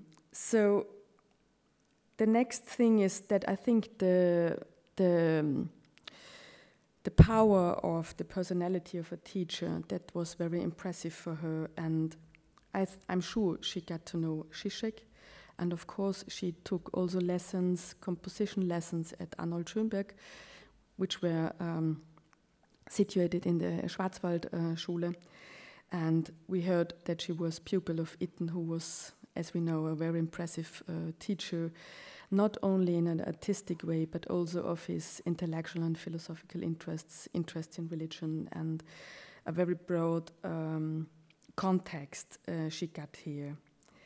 So I think if we speak about growing through art, this, this was a, in a double sense, uh, the title of my essays in a double sense meant growing, of course, the children growing through art, uh, if we have at the last station her work in Terracin as an art teacher for the children who were in this camp, but also growing herself, and it's also a growing and intellectual growing. And it was mentioned before, and I think this is very important, and Christina Wieder uh, also mentioned it or, or, or, pointed it out in, a, in her question. She was part of the Jugendbewegung, of the Jewish uh, youth movement. So I think also the the youth movement is one of the part, important part of the history of modernity. And especially the Jewish movement was very different from other movements which came up in this time, especially the Wandervogel or other German uh, associations, because it was very um, liberal, so also in sexual uh, um, issues or sexual liberation, it was very progressive. So both girls and boys were invited for lectures, for highly intensively uh, led discussions, and um, and for hikings and so. So um, I think this was a very important, and. Um, of course, and this is one of the subtitles of our panel, um, it has also to do with this, uh, um, I would say, permanent, permanent uh, feeling and climate of anti-Semitism, because the Jewish youth movement was developed not only as a uh, contradiction, as we know from Stefan Zweig, there were the old people, and if you were 20, you have to wear a beard uh, that you um, have been taken serious it was also because assimilation, Jewish assimilation, really failed. And uh, if we consider the history, especially of Vienna in the late 19th century and in the early 20th century, of course, um, especially young people were, feel very frustrated and very angry about um, the upcoming or more and more fired anti-Semitism. It has also to do with the historical and political situation in this time in the, uh, during World War One and before World War One and during World War One that there were a lot of uh, Jewish refugees from um, from eastern parts of Europe. I think it was mentioned, um, especially from Galicia. There were um, many programs, and we all know the problem now. Uh, we know the discussions and the debates, the discourses about refugees and the differing between what now goes on in the Ukraine with the war and what are refugees and what are asylants. So also these wordings we have, especially in German, are disgusting in a way. But um, I think this was very important, and she grew up, grew up intellectually in a in a in a circle of young women, uh, young, women and, and, and men. And I just want to, to name you some of the um, other young people she got to know there. Um, it was the mathematicians uh, Hilda Geiringer, the composer Hans Eisler. We know he worked together with Bert Brecht and the sister of Hans Eisler, Elfriede, who was became later on very famous as Ruth Fischer and one of the founding members of the uh, KPDU, uh, of the Communist Party in Austria. So there was also the later socialist trade unionist Käthe Leichter, Hans Heller, the son of the very famous art dealer and um, bookstore, bookstore keeper Lego, uh, Hugo Heller, who was one of the supporters of the early modernism in Vienna. Then also the art historian journalist Max Ermes, we know him from the Siedlerbewegung, the settlers movement. Then in the 20s, the sociologist Paul Lazarsfeld and Maria Jehoda. So, um, you know, they made the very famous uh, study about Marienthal and the unemployed.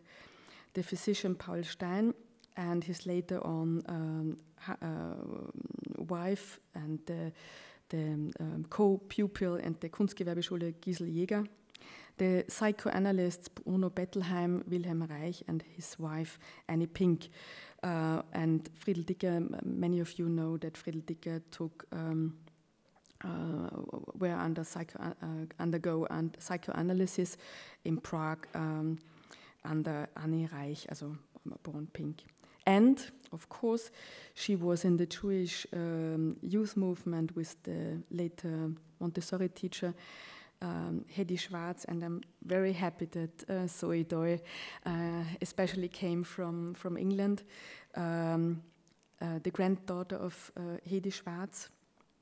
And um, yes, and Trude Hammerschlag is completely forgotten, and a very impressive person. I, I will talk about her.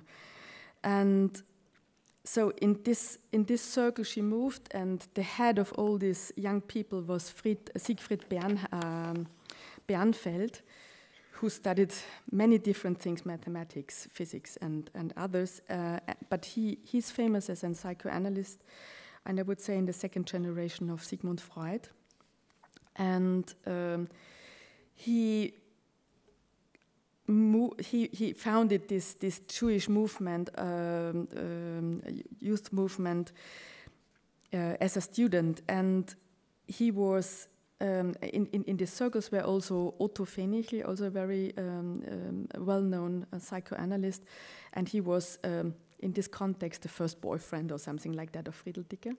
And Otto Fenichel gave, uh, gave his first lecture, so he studied also uh, psychology uh, and was a medicine, and he gave his first lecture at the Wiener Analy uh, Psychoanalytische Vereinigung, so the, the Viennese uh, Psychoanalyst Society, in April 1918.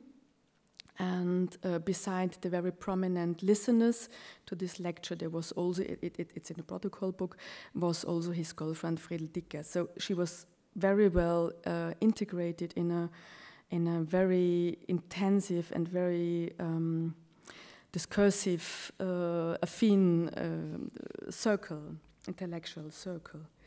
So uh, in these times, Siegfried Bernfeld was, uh, the mentioned Siegfried Bernfeld, he was uh, a specialist on, I would say not only Entwicklungspsychology, but he, he wrote a very important uh, analysis on, um, on newborns, uh, Säuglingsstudien, and um, as a mother, I love this title. He wrote the very well known book Sisyphus, Grenzen der Erziehung, so Sisyphus, the borders of education.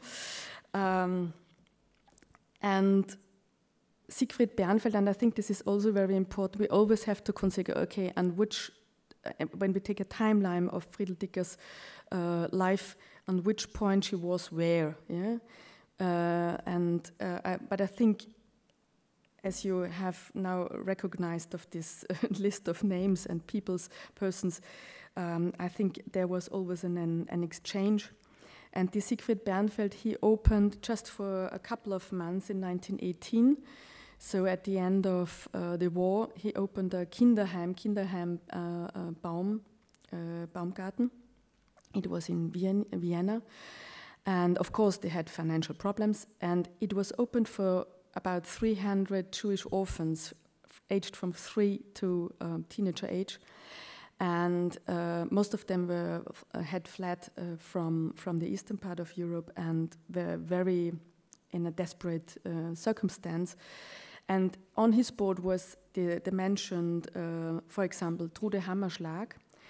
Trude Hammerschlag died very young, with 30, by an explosion of a, in, a, in a chemistry laboratory but she she was um, she also studied psychology, but um, by not by Freud, uh, but by by Karl Bühler.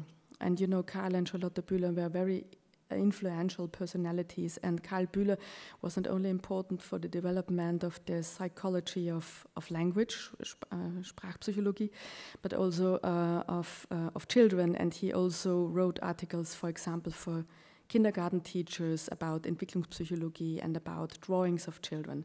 And this Trude Hammerschlag wrote a really amazing um, dissertation in 1923, handwritten, um, about Kinderzeichnungen, yeah, kind, uh, children's drawing. And um, the the images are miss, missing, so uh, but uh, or, or, I was not able to to get them.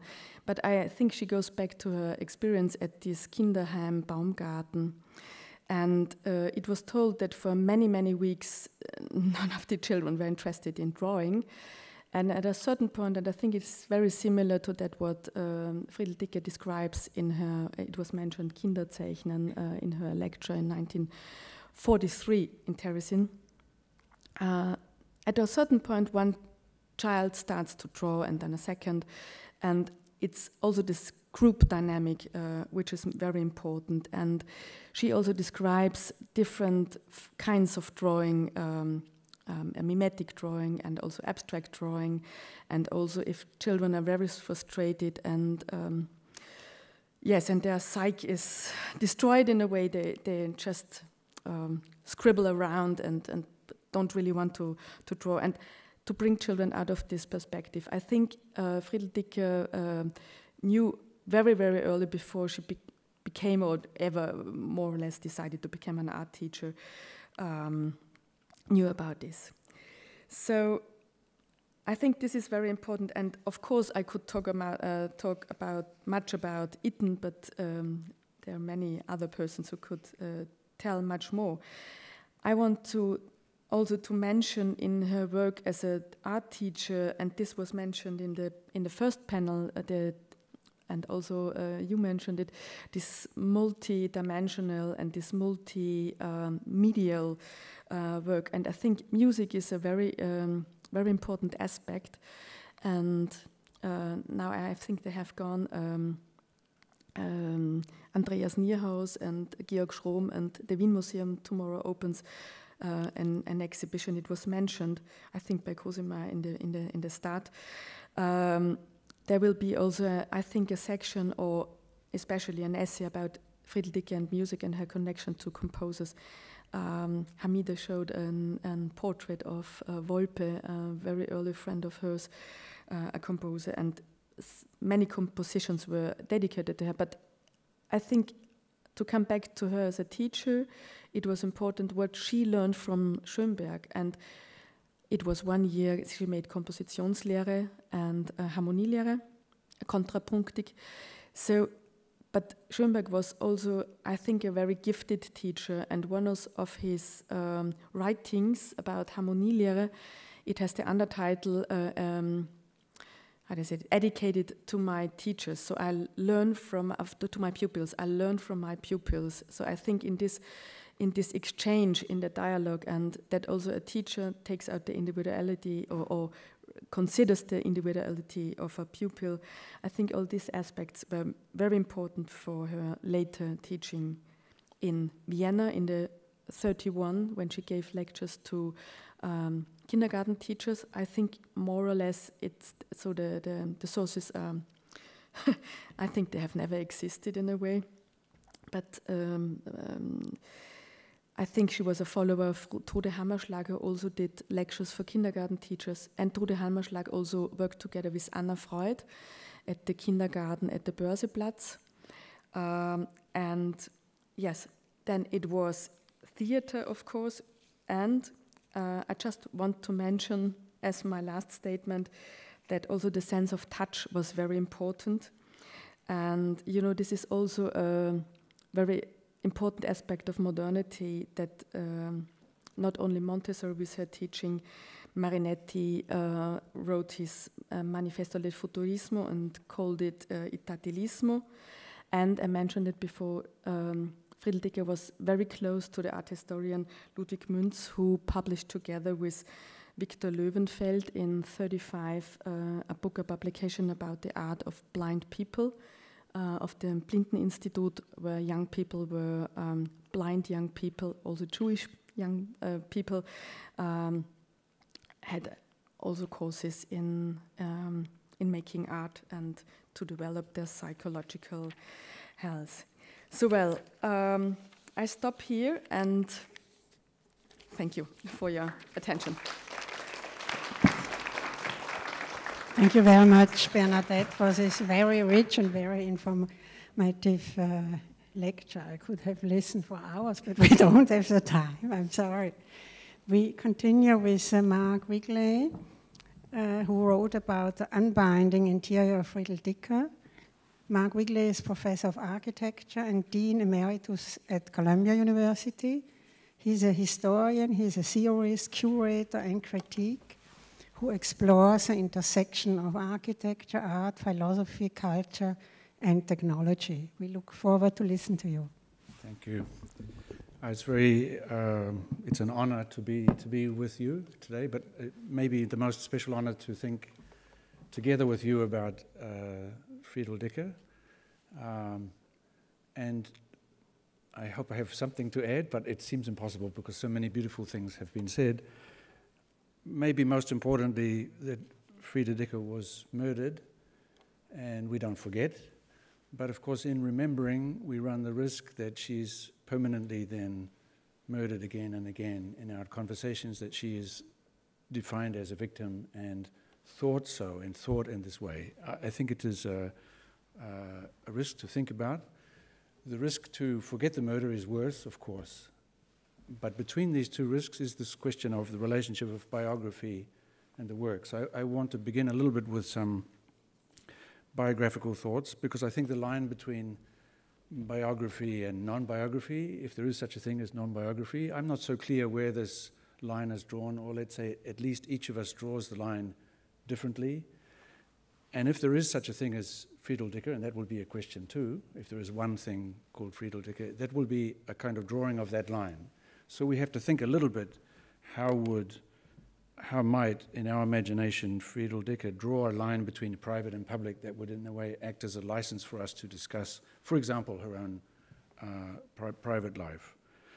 I think, of course, this risk that to, to remember always the murder, um, this risk is also affected by the fact that what, what if the work was already from the beginning a response to the violence that would, in the end, uh, uh, try to erase her, but the beauty of this evening is she's not erased by that gesture, right? So, what if the work was always shaped as a form of, of resistance to this violence, a violence that she surely felt as a woman, as a Jew, and as a communist? But I don't claim to know what those three words mean, but they are certainly words that can be used to exert micro violence on someone, which micro violence can be in your daily life and eventually become, can go from private to public in the most obvious way. Let's say the murder is the most obvious uh, way, but the same would be true uh, with, with the status of a woman, uh, the status of a Jew, status of a, of a, communist. It seems to me obvious, of course, that, that uh, Dicker experienced all of these microaggressions, and I think also more or less obvious, maybe too obvious, that the work shows, this is clear in the work itself. So my question is something like this rather than worry too much about biography, to ask of the work, what does the work say about biography? What does the work that we associate with the name Friedel Dicker say about biography? Already very complicated because her name is not associated with a lot of the work that she did for reasons that we have been discussing. Her work is also not so clearly associated with the name in as she carried out this multidimensional sort of self dispersal not so obvious because if there ever is such a thing as Frieda Dickel, it was always in collaboration. As a student, as you have already been saying, as a teacher, uh, always, always she constructs a collaboration. And so maybe we could start a little bit with the question of collaboration. I don't think that collaboration is A comes together with B. Collaboration is some kind of relationship that produces A and produces B. So, for example, if almost the work, almost all of the work that we would think of as architectural is done in association with Franz Singer, and in, in every case the name of Frieda Dickel is erased, uh, it's not simply a question of, as it were, restoring the name uh, to this work, but to try to understand what was the conditions under which the work was produced and under which it was erased, and then erased again in the forgetting uh, of, of Dicker, and maybe erased yet again in associating Dicker with one uh, very, very gendered understanding of what constitutes the work that a woman could do in a collaboration. Something like this. Anyway, I don't know about you, relationships are complicated, but it seems to me in a collaboration, each figure says that I'm only myself when I'm with you, and you're very annoying. So I'm only, a, I'm only myself when I'm annoyed by you. So you, I, I react to you, to you, I produce a kind of immune reaction to you, and that immune reaction is, becomes, in a way, me. What's interesting about collaborations is, of course, that both sides cannot work without the other, cannot be themselves without the other, but also every, every gesture they make within the relationship presupposes what they already think the other is going to do. So every gesture from one side of the collaboration already expects a certain response from the other side, and so on and so on, to such an extent that actually collaboration can go on before a couple, for example, gets together and afterwards, in as much as if you dream of a relationship with somebody, you dream of that kind of, uh, of interaction. This, this means that even if there seems to be a very gendered and very classically stereotypical terms division in the collaboration of, of Singer and, and Dicker, where Singer is associated with line, with structure and mechanism, and Dicker is, is associated with surface and uh, texture and color and decoration. This very, very stereotypical division between uh, masculine and feminine seems to be very much rein reinforced by the collaborators themselves but don't assume for that reason that the so-called decorative work is on one side and the so-called structural work is on the, uh, uh, uh, on, the, on the other. It's far more complex. So let's, at least in a very short time, very quickly try to understand this relationship. Probably they are already doing interiors in 1918, even before going to uh, Bauhaus. And of course, of, of course, Dicker is re remarkable in being more Bauhaus than Bauhaus. Uh, in a way, she's sort of too good for the Bauhaus. In a, in a, way, she sort of passes through it and reveals the Bauhaus a little bit on her way uh, through. Again, wh why would we ever assume that the Bauhaus is something important and the people that pass through it are, as it were, the victims of this kind of machine? Isn't it the other way around, that the Bauhaus is sort of important because there was this amazing uh, flow of people, and it could well be that the least interesting people in the Bauhaus are the ones most associated uh, with names, uh, Walter Gropius, etc., etc., um, all of whom uh, were very efficient in removing the signature of the, uh, of, the, of the students by not by simply erasing it, but by placing it within a very, very clear uh, project, a kind of second architecture. The real building of Bauhaus is not the famous building of Walter Gropius, but not just Walter Gropius, Gropius and Adler, right? It's a collaboration. Um, that was not the real building. The real building was the image of the Bauhaus that, that uh, Gropius produces in collaboration with Moholy-Nagy and others afterwards, the, the, the, one that's remembered. And it is in that one uh, uh, uh, that we have to be sort of cautious. But let's say at least before 1918, I mean, in 1918 they are doing apparently their first uh, interior. In the Bauhaus, of course, they work famously on four house projects which are co-signed. You see Franz Singer's signature and Frieda Dickel's signature below a very interesting house if you look at it because it's super gendered male and female. The male has a desk, uh, the female has a round table. Interestingly, even if the female is on the side of the children's room, there's not a direct connection between her room and the children's room, nor is there a direct connection uh, between his room. Most interesting, I think, about this plan is the area devoted to their respective sleeping. They don't sleep together, or at least if they sleep together, they sleep on top of each other, which may not such be such a bad thing, in those very uh, small spaces that you see which are withdrawn in the middle. So somehow living is given uh, space and sleeping not. I, th I think you see already there some kind of strange concept of efficiency, because this is not an efficient house. This is not a cheap house. This is not a house for the working class. It is kind of like a villa, even its symmetry is, requires a kind of arrogance of, of uh, money, these extra features. But then you should sleep in something incredibly ec economical. What they do together in the collaboration is play this very, very strange game of spending a lot of resources to make gestures in which it would seem that they want to use as few resources as possible. A very, very elaborate work. But they, they signed together, let's say side by side. At more or less, and by the way, the year is not so clear. 20, 21, 22. Not so clear the dating of this, maybe later than normally thought. Perhaps earlier are the first uh, uh, work for the theatre, uh, uh, where again, signed on the bottom. Um, also interesting, signed every time different. Franz on one side, Friedel on the other, and then they flip. So again, they refuse even a left right. And you see, of course, already a kind of architectural kind of topic. Uh, here, a sort of small hut in a, in a landscape, maybe better to see it in, in color. One can sense, of course, already that they are, um, in fact, they are in the workshop of, of Oskar Schlemmer when they are making these drawings, so you recognize some of the features of the work. It's also interesting as a small house that you can't enter, there's no way in. The very first collaboration they do uh, is this one. And, and here I think you see, of course, already so many of the qualities of the work. It's a single room suspended in the air, even with a kind of furniture element, a single furniture element which is embedded in the walls coming out. And it seems kind of impossible uh, to get there. And in fact, there are 10 more uh, renderings like this, which culminate in this one where the room itself is completely uh, divorced from the outside. So we see in this world of theatre, which is also a world of architecture, all theatre being a kind of staging of architecture perhaps we could argue too quickly that all architecture is also creating a kind of possibility for life as, as theatre. You recognize the same theme in the 1920 uh, uh, image that you have seen before. Probably this is coming first. Again, uh, there's no way in and there's no way out. Is it a prison cell? Is this confinement? Is this the end? There's a single piece of furniture, but not being used. There is a, what might be an entrance in the floor. But at least you're asked to think about this. You're asked to think about what this uh, uh, means. If, if the risk of remembering the murder of Frida Dickel is to imprison her on the way to death, and there was some reflection on the prison cell, on being inside and being constrained, then this is not such a, a, a, simple thing. Is this person meditating in pain, in agony? This, it's, it, all of the, probably all of these things. It's a kind of reflection on that kind of room.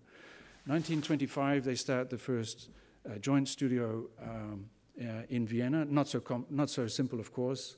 Um, uh, Frieda Dickel had many studios with many collaborators.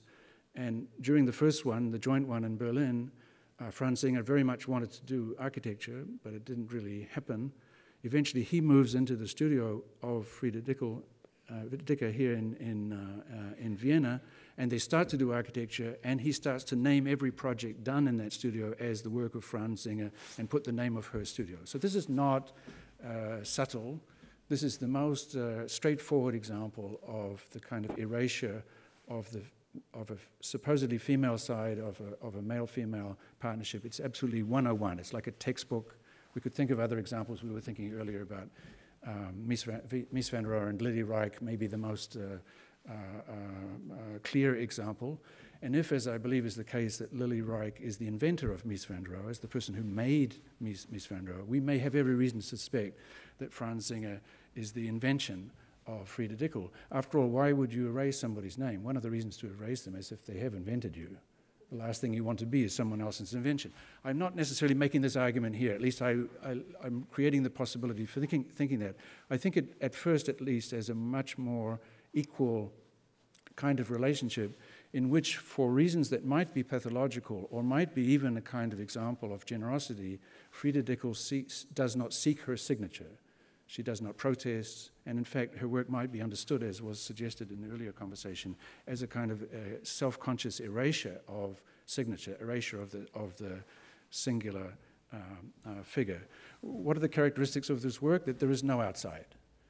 These are interiors without an exterior, and an interior without an exterior is actually bigger than the exterior. So, this is an inside in which you can't get out, nor can you get in. Actually, you can only get in by kind of going in through the roof. These are something like those flowers that attract an insect. And when you're in, they're very attractive, very seductive. They're entirely made every surface in color and fabric. They're woven, they're kind of folded up.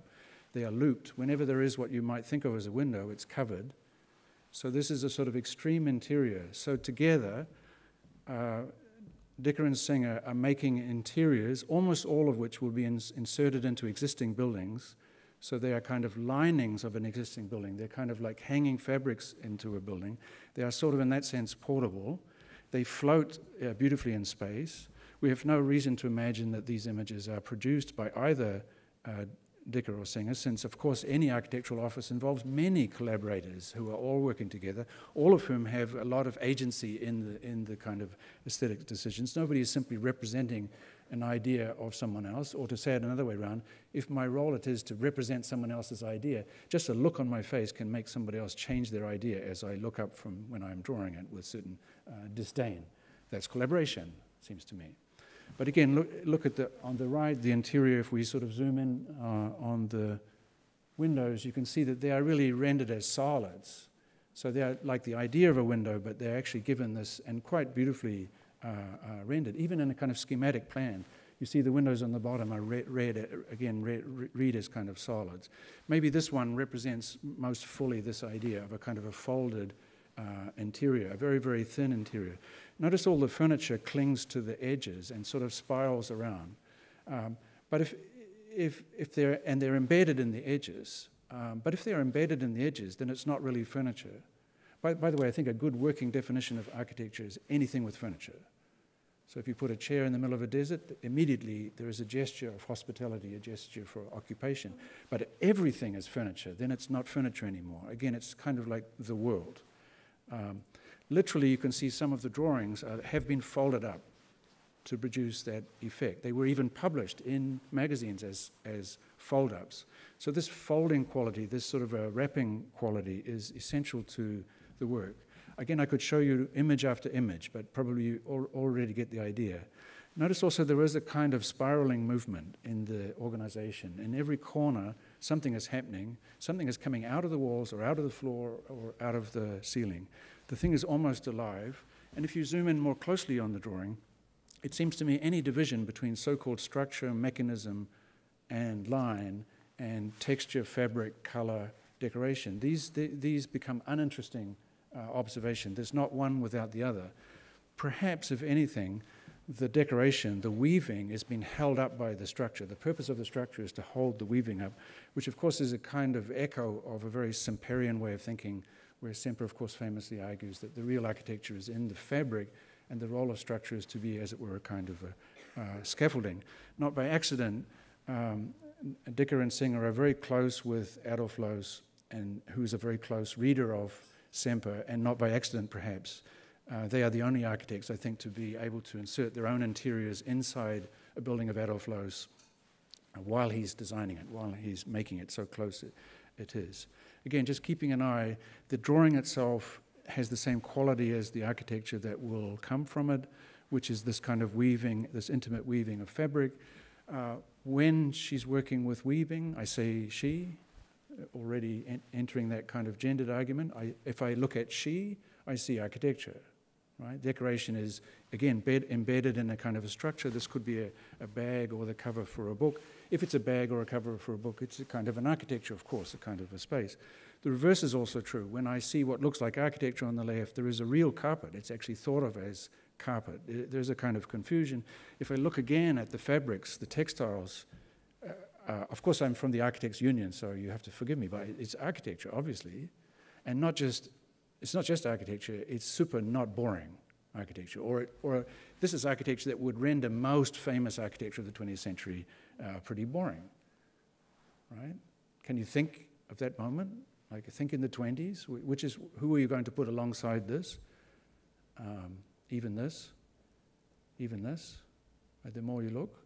So, this idea, by the way, that, that we should think of this as feminine, as color, as fabric, as seduction, calls on us not to observe the structure, the geometry, the structure in the fabric itself. What were, what were we looking at there? We were looking at structure, right? The, the threads. I, I, know you know what I mean, but, but no matter how much we know this, it, it's, a, it, it's difficult to to remember. Or to say it another way around, there's more architecture in the fabric than there is architecture in the structures that are holding the uh, fabric up. If we look at the structures holding the fabric up, you can see that in a way the color and the fabric kind of bursts out of the volumes, right? So if the boxes are quintessentially associated with Singer and the colored fabrics are associated with Dicker. Dicker is like exploding out of, Uh, uh, uh, of Singer, and this doesn't mean exploding simply into color, it's mathematical, it's calculation, it's precision, and it becomes a so called growing furniture. Furniture itself will grow, has the ability to grow only in as much as textile and fabric can grow out of structure. This thing that I'm describing is the very possibility of the, of the architecture. If color and fabric can grow out of structure, an interior could be always alive and could be growing out towards you at any one moment, uh, literally, kind of as it were, breathing. Again, image after image. You cannot draw a line uh, uh, between the structure and what's behind it. You end with an object like this. What kind of idiot would want to then distinguish the structure of this uh, from the fabric? Or at least you would say the only role of the structure is to bring it up off the floor to meet your, uh, your body. A version of this chair you see here in, in um, 1927 in the so-called woman's room, again reminding that in this gender kind of operation, there was a woman's room and a man's room. This is the woman's room. One of the symptoms of that is the vanity unit in the distance, because after all, as we know, only women are vain. Men have no interest in their self perceptions. By the way, you, wouldn't you only erase a woman's name if you were very interested in your self image? So, shouldn't the biggest vanity mirror be for, for the man? M- maybe this was for the man. Who knows? But there's the design for the same vanity unit for, for a different project. Uh, but this was the catalog where you see it there, room number one. You don't see any mention of Frida Dickel, even though what I showed you was the woman's room defined mainly by what it is that we associate with Frida Dickel. Dicker, sorry, when, when, when we go to the catalog, is the name of the, of the architect, Franz Singer, not trained as an architect, but called an architect, and of the constructor, then we could jump to an exhibition in the same building, 1929, very important exhibition, a kind of demonstration of all of the ideas of the studio, very, very kind of didactic exhibition in which in every corner of the space, objects would explode with life. The, a monolith opens up like a kind of a Swiss Army knife, or a set of chairs come rolling out from a wall. It gets published like that. Um, it's published everywhere, but there's also, you see on the bottom right, a kind of room in a box, room in a cupboard, the idea that you could slide a bed out from underneath an, a, a monolith, and with this bed you could have sleeping and eating and clothing, everything in the same place. So, a kind of ambition that one piece of furniture could generate an entire house, not simply a house in a room, but in a way, a whole room, a whole house inside a single box. It gets abstracted. You can probably see from, the, from, the, from this that there were very clear labels and explanations and architectural drawings explaining that. They get slowly erased. You can see the erasure of the names on the right. And then it gets erased even more so that the place where the drawings were on the wall becomes a kind of abstract screen. Of course, this is a very richly colored image. And were you to see this in color, you might read this more as part of the weaving project. Uh, and of course, this is what I'm suggesting to you. This is a weaving uh, uh, mechanism. But then, when published by, by Singer himself, again, without mentioning Dicker, in a kind of uh, self promotion you see that it's been abstracted even more. Maybe this is the most interesting, most important piece of so called furniture, which is really architecture. You see even the vanity again on the right, and his own kind of X ray drawing of the thing floating in space. Already, this idea of a single piece of furniture floating in space, which is able to generate architecture. I can put this inside an existing building and create a kind of another architecture inside, and even a kind of a super abstraction where it's like a kind of a spaceship where even the floor seems to be one of, being produced by opening this thing up. So if I open this thing up, I will get floor and roof and so on, and I can occupy it. In this moment of time, uh, Dicker and Singer are really separated. Um, uh, he's no longer in her studio. She's no longer in, in the same studio. She's becoming more political, uh, more known as a teacher, more known as a lecturer. She starts to give lectures on, on color. She's arrested in, in uh, November of 1931 uh, for activities of, of, passport forging. I, by the way, like to think that she was very involved in the passport forging, and the idea that she, she was then uh, convicted and imprisoned, and famously, uh, Franz Singer testified at the trial that she did not have the ability to draw a straight line, and that was used to defend her. Anyone that knows Dicker's work knew that she perfectly knew how to draw straight lines. Like it's just the sort of ultimate uh, insult, firstly from him, but then from generations of architectural historians that treat that as a very kind gesture. Um, uh, look, look at the, at the um, typo ty typography pages that she did for, for Itten. They are kind of miracles of geometric uh, uh, uh, precision. So I'm assuming she was there. She was making the passports in, in, the, in the office with the communist cell. So they are separated um, and, and also separated personally and professionally. Meanwhile, they are doing these very important works which have exactly the same quality. I suppose what I'm suggesting to you so fast is they only ever did one project, and this project was a, was, a, was a kind of piece of furniture able to turn into a whole kind of world, an interior without an exterior. And they were all done for different clients and were kind of, as it were, inserted like a, like a kind of archipelago of related spaces. You will notice that the same furniture pieces come up again and again.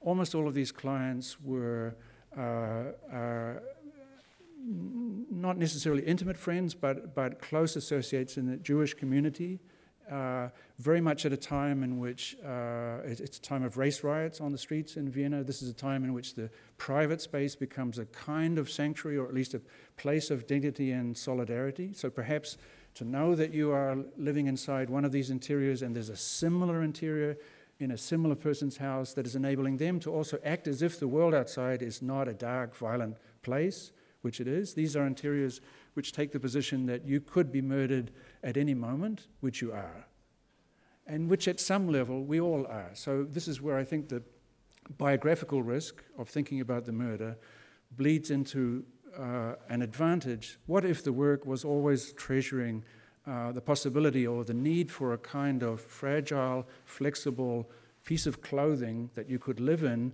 and keep the outside world at bay, a piece of clothing you could take with you uh, that could travel and that could change. This would be uh, not only a, a, a, vital piece of clothing uh, for a woman, for a Jew, for a communist, each of whom is experiencing, uh, and in Dicker's case, all three, microaggressions in daily life, all of which became public, public uh, uh, torture. What if this is, is a kind of ambition for architecture to create this kind of uh, let's say, defense against, against the nightmare that is the, uh, uh, the outside world. So these floating kind of spaceships carry, carry in them a very, very deep uh, political kind of charge, but also an emotional charge. They are separated. Uh, Dicker has to escape to, to Prague. Singer escapes to London, and in London he turns this idea of a bed that slides out from underneath a furniture piece into the possibility of an entire house. He launches a patent for two versions, one with a kitchen, one with a kind of a changing room. Um, he then very quickly modifies this project to become a project for housing for Palestine through 1934 uh, to 36. Again, there's the same idea. Uh, the bottom image on the right is the same as the image that's patented. It's a kind of a growing house, a sort of a spiraling house. You see it in section, everything spirals around the showers and the beds are inserted in the intermediate level. So quite, quite a remarkable kind of project. It would look here like Frieda Dickel is no longer visible to us. We don't see the sensuality and so on, but I'm asking you to consider the possibility that she's very much there uh, in this work, and the fact that he's in London. He is, by the way, calling her all the time, because he was never able to work as an architect without her, calling her and asking her to do commissions, and I think she's fully present uh, uh, in these images. She starts her own office in 1934, the same year, in, in Prague, again with another fellow architect, another woman. She, in 1936, starts another office, yet again, uh, and I think not by accident, for the first time in her life, calls herself architect. So if she has been erased and, and cut off from the world of architecture and 10, 20, 30 international publications in which her name never appears, there is a moment in 36 where she says, actually, uh, uh, uh, I'm an architect. And I finished just by showing you a project from 1938. This is a project for a full house that will occupy a space of 1.35 meters by 3.3 meters by 3.3 meters. This is exactly the most extreme version, even more extreme than the housing for Palestine, of a kind of close packing where very, very tight space is set up to enable uh, for sleeping, uh, for working, and, and for cooking and eating. So, my general argument uh, today, very, very fast, is just to consider the possibility that, that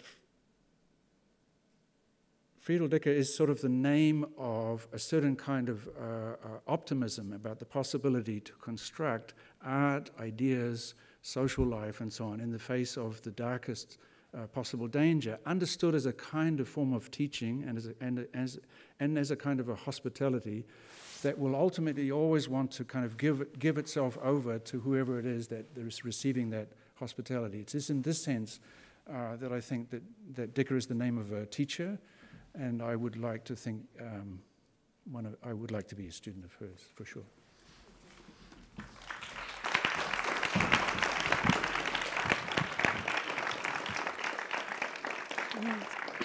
Thank you so much, Mark, for this very thoughtful insight of uh, Phil work. Before we start with our discussion, um, please allow me to make a very personal remark. Perhaps for you, especially for the young generation, you can't imagine what it means for me to be here on this occasion of a presentation of the book on Friedel Dicker because for you it might be just a normal book presentation, but it's not. When I studied art history in Vienna at the University in Vienna, in my whole study, I didn't hear one single word of any single woman artist. Woman artists didn't exist. Friedel Dicker didn't exist. And when we started, I and, and many colleagues of my generation, when we started to work about women artists, to dig them out of the past, and to generate um, um, uh, work on, on, on uh, women and um, gender, and to start gender studies, we were looked at like aliens. So, um, after all, I think also in spite of that the whole world is in, in the moment in such a catastrophic development, there are at least some achievements, and I want to stress it. And, and also, I want to thank you, all of you, who really uh, pointed out this very importance of visibility of female artists. So, thank you very much at the beginning.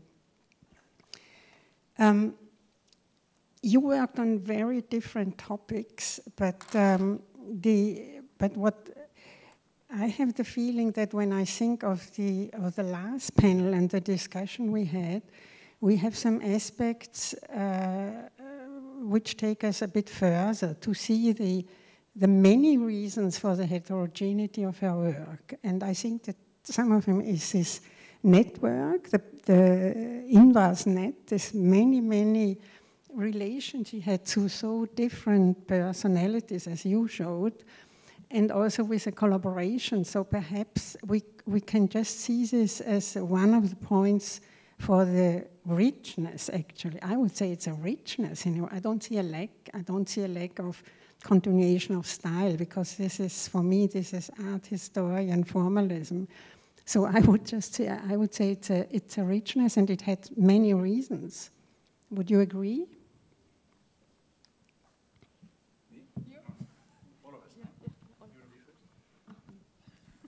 Um, yeah, I think it's very, very beautiful the way you say it. Um, I agree it's a strength. I think it was, I mean, it, it was also a threat somehow, uh, in, the sen- in, a, in the sense that um, the ability to do everything. I mean, this is really, in, in a certain way, it's, it's threatening to art historians. Yes. You know, have their little little boxes so it's a kind of a double thread. You know, it's a sort of a double, double thread. And I, I, I, even if I think, for example, I portray stupidly Franz Singer uh, uh, as a sort of a typical man, vain, um, blind, and violent. Um, I think she was perfectly arrogant, opinionated, tough. I think she knew very well the effect of doing too many things and not making her own brand. I think, I think so. I, in, in my strong feeling, I don't have an explanation for it. I think it was a kind of project. I, part of my fantasy is that she makes this very strong return to painting at the end, because only because she had neglected it a bit. I don't think it was really a kind of fundamental uh, now painting. Even if she writes like this, she writes uh, finally I, I return. I think it was more looking on the arc of her career. she had not, not done enough painting, so she really devoted herself to this. I, so I think she was um, ready for us. I think really she, she, she was aiming her work in a more cosmic frame, um, not, not so much for the writers of her day.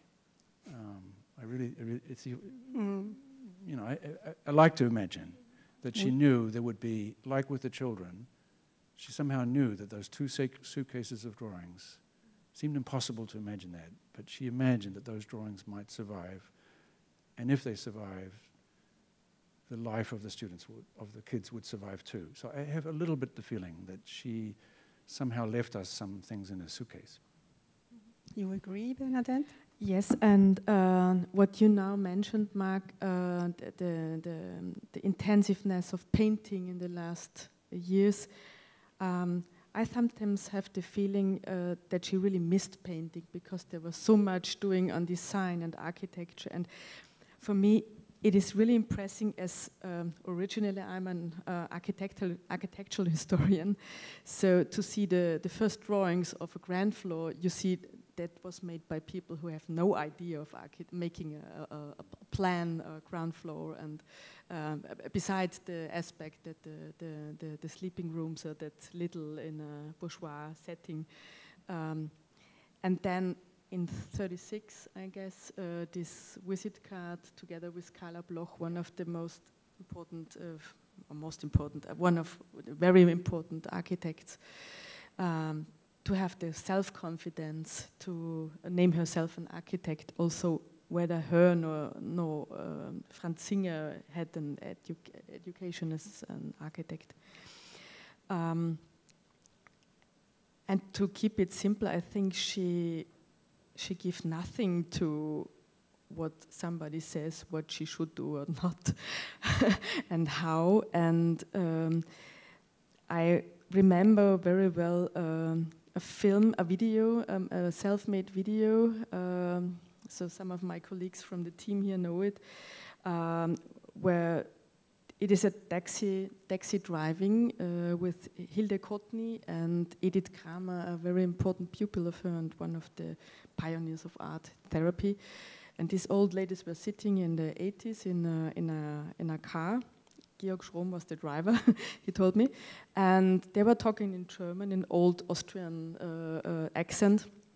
Were talking about Friedel, and they said, "Oh yes." And if I think back, uh, that Friedel was such a wonderful, warm-hearted person in Terracin, and when I remember back, Edith Kramer knew her as a as a child, as a teenager, and she said yes, and she was that cruel and that brutal, and she said, "Oh, I could vomit. What were you making with your drawings?"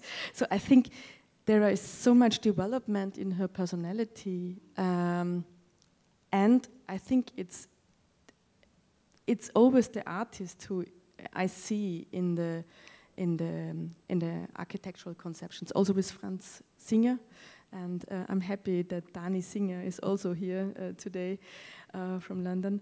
Um, and I think there's a strong development. Um, yes. But may I just ask you something what, what interests me? Because if I look at these designs, for me they are like paintings, and I think they're, they're wonderful paintings, as you say, but nothing is left. They're all destroyed. And can you, can you do you have an idea how it really looked like in reality? I mean, what is the relation between the paintings and designs and the built flats?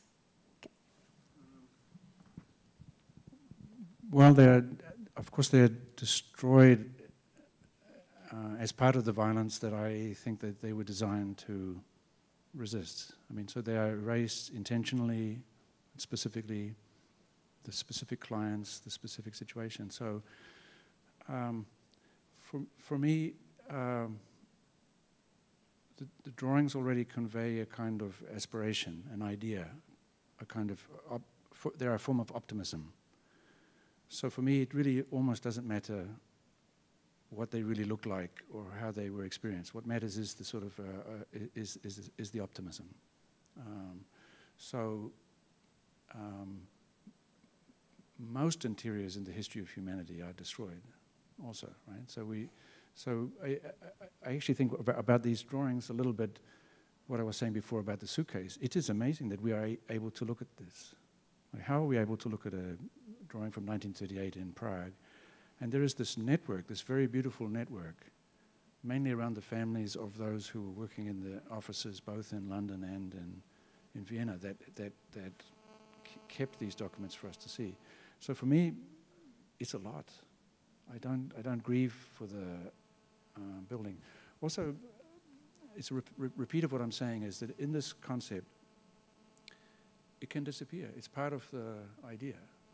She took with her the furniture from the studio all the way through, and she, as you know, she was in smaller and smaller places. It's possible this is for herself.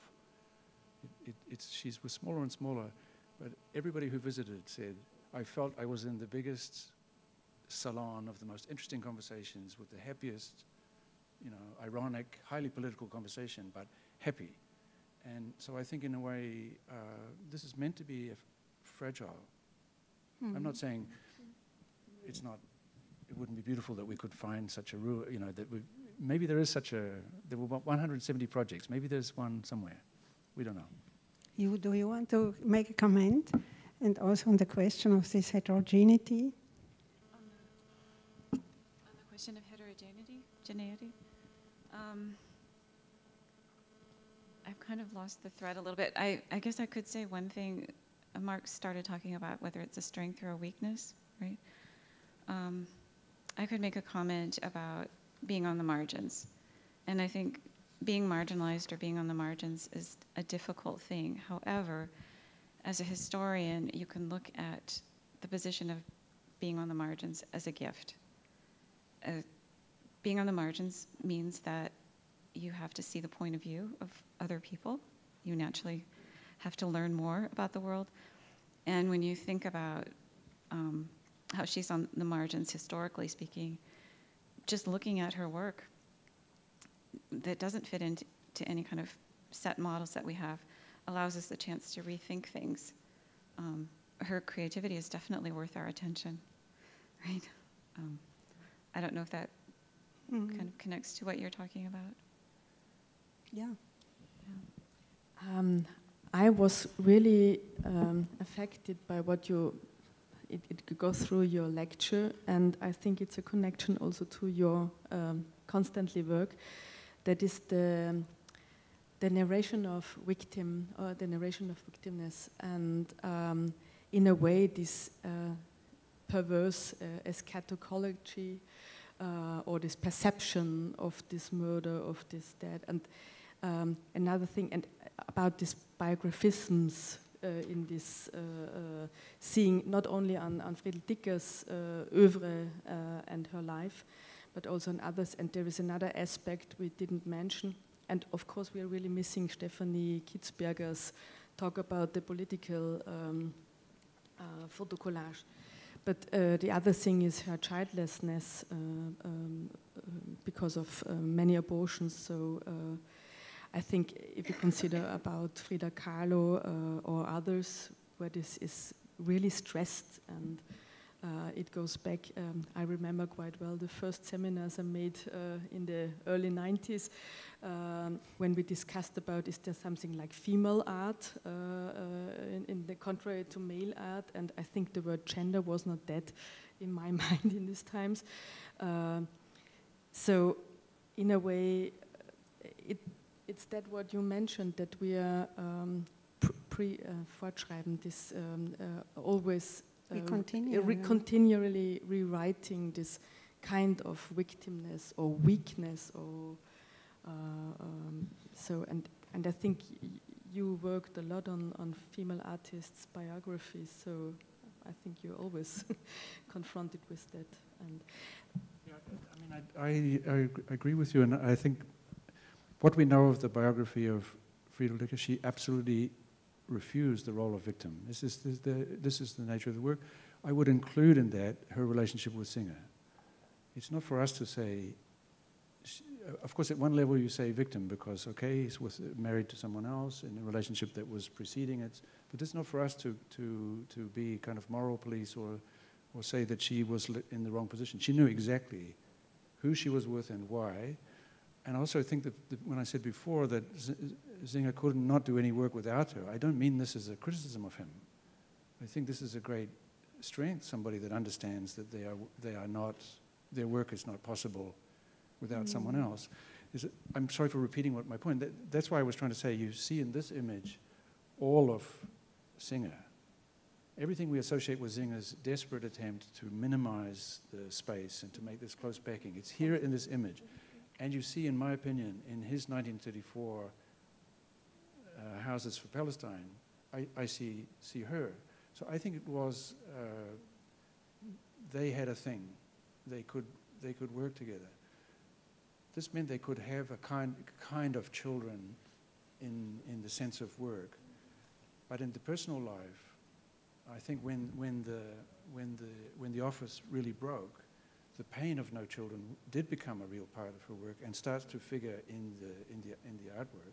So I have this sort of two sides. One says to me, we should have no fear for Frieda Lücke. She, she is the very image of strength in impossible situations. Mm -hmm. We, we, we, could worry about ourselves a bit more right now, what's going on right now. Um, but I also think it's not about um, uh, demonizing, for example, Zinger. When it comes to art historians, I have the opposite approach. I'm in the mood for assassination when it comes to historians who choose to be blind to the obvious in drawings. This seems to me, um, let's discuss the biography of art historians now. Yes, you are right. um, I miss in our discussion, I miss something, and I just, yes, I have a question that uh, really concerns me. I miss that Stephanie is not here, but it's it's because of Stephanie, but it's also because I really do think that the political question is so important in Friedel Dicker's work. So I just want to, yeah, to point out uh, one thing. Can we have, can we have this, um, yeah. Um, what concerns me is the relationship between Friedel Dicker and politics, the Communist Party and the Soviet Union. And my impression uh, is the following. We, let's see whether we have this. Yeah, thank you. Um, especially in these political posters. Um, I, perhaps may I add that uh, one of my best students, Angelika Romauch, made a fantastic diploma thesis about these posters. This was actually the first serious work on this. But my impression is the following. Um, that, uh, I mean, for the first thing is I think that this is the most radical, most analytical visualization of the theory of Karl Marx.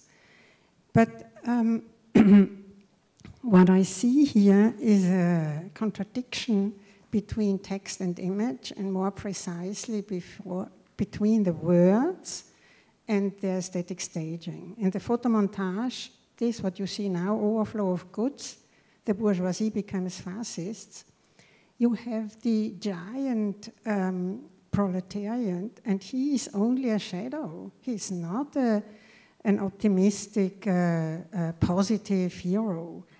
And the apparently optimistic lines about the alternative function of commodity production in the Soviet Union, they point, point downwards and not upwards, as their content would suggest. It's not to a positive future. And the same pessimistic view characterizes the sheet. This is how the world looks like, my child. And the mobilizing final verse. And if you, my child, don't like the world, then you must uh, just have to change it. And these words, when you look at it, they fall down into the banknotes and thus to a hopeless capitalist world. And how, may I ask, is this helpless baby supposed to change this world? So I think, I think that this is, I mean, I'm always very interested in, uh, in the ambivalences in art, which are much more, much clearer than in texts normally. And, um, and I think that this is a very pessimistic view of the world. And I can't imagine how a communist party would have agreed with this. But I mean, I, don't, I would like to hear your opinion to this.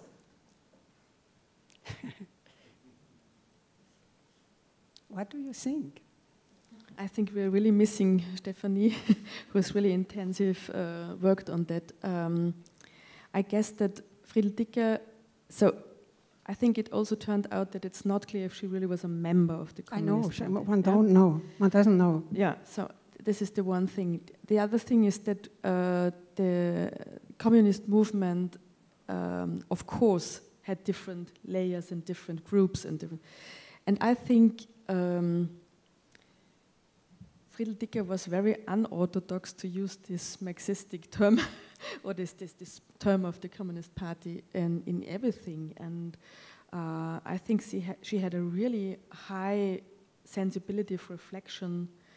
Um, and it me, to, to me, it seems the, the difference between the, the images uh, and the text and how it is put, as you pointed it out, um, it seems a little bit cynistic in a way, or like, Yes, um, not not ironically, really in a in a in a, Yes. in a bad humor sense. And I, as we know, as I got to know from the talks with Stephanie, these were very huge um, photomontages, and uh, also with a lot of um, painting structures, also this Spritztechnik, this, um, uh, and it's not completely clear in which use it should be. So perhaps Stephanie found out. Uh, No, I I don't think so. But one doesn't know. And it's very uh, what me always strikes in in comparison to um, to John Hartfield is that it's very complex and it is really difficult to read it or to see what's in it.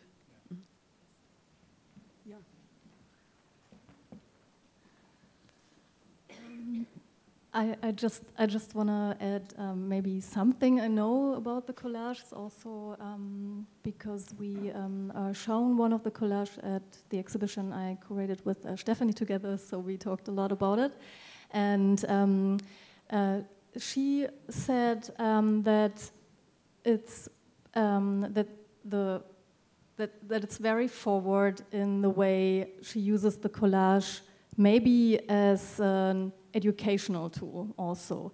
It's very analytic and it very um, much uh, tries to tries to analyze the reality. Um, therefore, it is pessimistic because it's very. She uses the Marxist uh, vocabulary in order to analyze the um, the present times, and she does this in a way not maybe in comparison to um, John Hartfield or to uh, Hannah Höch or so in a way that she uh, forms um, um, another um, image that um, that um, maybe is more based on a, or more achieving a transformation of something, but she puts the things next to each other in a way that you can really follow through the collages as uh, a way of yeah a dialectic way also of um, and also and yeah therefore it can um, and and uh, possibly they were used as such as educational posters but um, this is not clear. So thank you. Just, just was going to note that, that she made storyboards for film of um, Das Kapital. And if we, if we study the storyboards, maybe we could start to answer the question. Because I agree totally that, that her worldview is, I mean, when I said optimism before, it's optimism that you launch strategically in the face of, of darkness. You think of the painting of Fuchs learning Spanish. He's in a kind of domestic space. He sees nothing, but behind him is total danger. And I, I think these are not that different from this. Um, and I, I, I agree, of course, they're too complicated for propaganda. And if they were for educating, it could be interesting if they were for educating educators, that they're actually for starting conversations like the one we're having now, rather than Yes. here's your message. Yeah. Yeah, I, I just have one comment to follow on that. Um, I think it's much more effective than propaganda because it's an invitation to read it and to think. So you're not going to convince anybody if it's too direct. And I think people enjoy the semantic openness of it so they can recognize what they see in that evidence that's put together, as you were talking about. Yeah. So I, I just had a little comment on the, on the initial question, um, whether, uh, whether there is actually a contrast in the message, in the aesthetic message on the one hand, and in the textual message on the other side. Because uh, as Christian Scherer and I uh, were looking at the, Christian Scherer, another author of the catalogs, we were looking at the images yesterday in exhibition, and I've written the catalog entries for them, so I've read uh, as well Romauch, a fantastic uh, thesis. And um, I, I think that question connects to another question that we that Christian asked yesterday, which is uh, her relationship or her attitude towards the Soviet Union that you also mentioned in the beginning. So the, the, the, the, the question of if that is um, within these collages idealized as the place to go, the place, the, the role model, the model that is actually something we want to aim for, and uh, that the other side of the world is portrayed as chaos. And in another collage that is the future of the child, called The Future of the Child, uh, there is a juxtap juxtaposition between um, kids from the bourgeoisie, then very rich kids and very poor kids. And at the very bottom, there, there is this kind of little glimmer of um, future that leads towards the Soviet Union. So kind of, um, at least it looked to me as if she um, presents this model as something that might work. So this question of if there is any hope in these collages or if it's crushed by the message and they're completely pessimistic might also be answered by looking at her relationship to the, with the Soviet Union. Just a hint for further. Comment or question?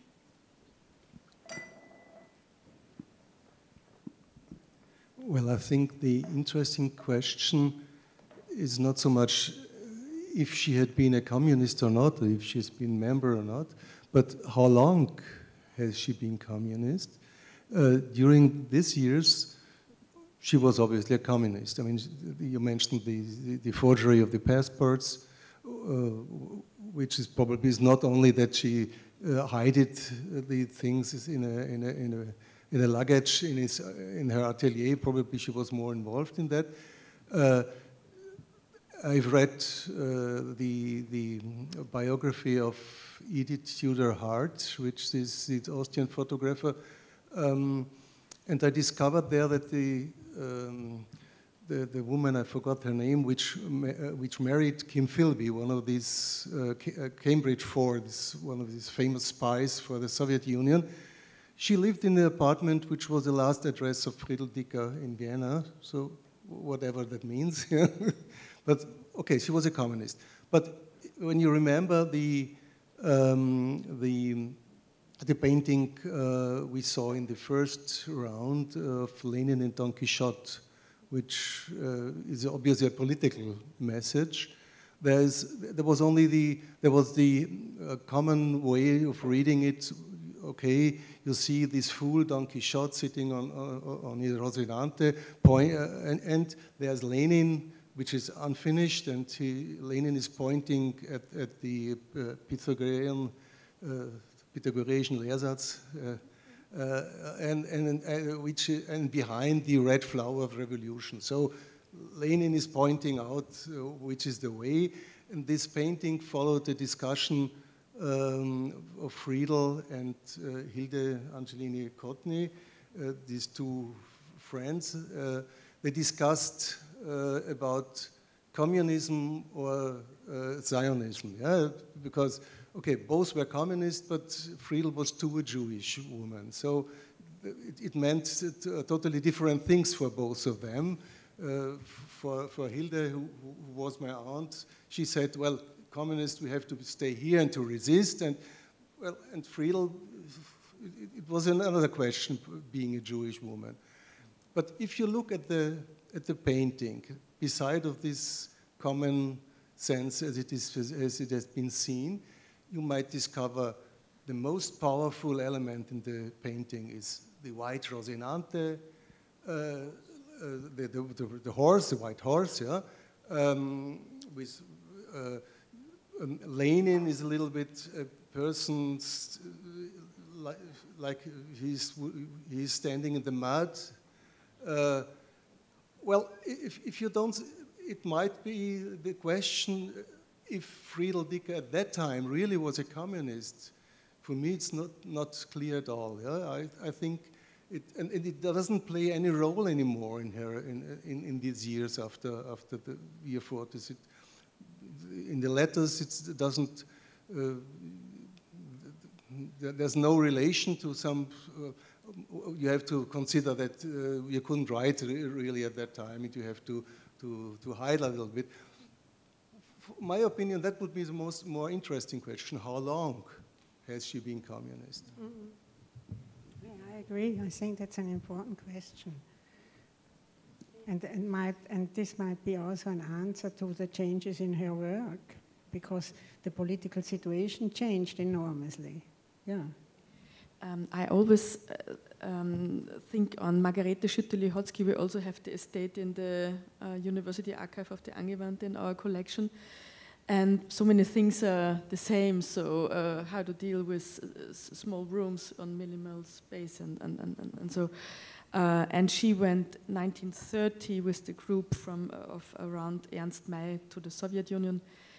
So many things are similar, and I think in the 30s and 30, 31, 32, when these collages um, came up, I think the, the idea of the Soviet Union was really uh, fascinating, and uh, the Soviet Union also uh, um, invited architects and, and, and artists and so on to, to build up this new state, to have the chance uh, to make, to, to, build a new society.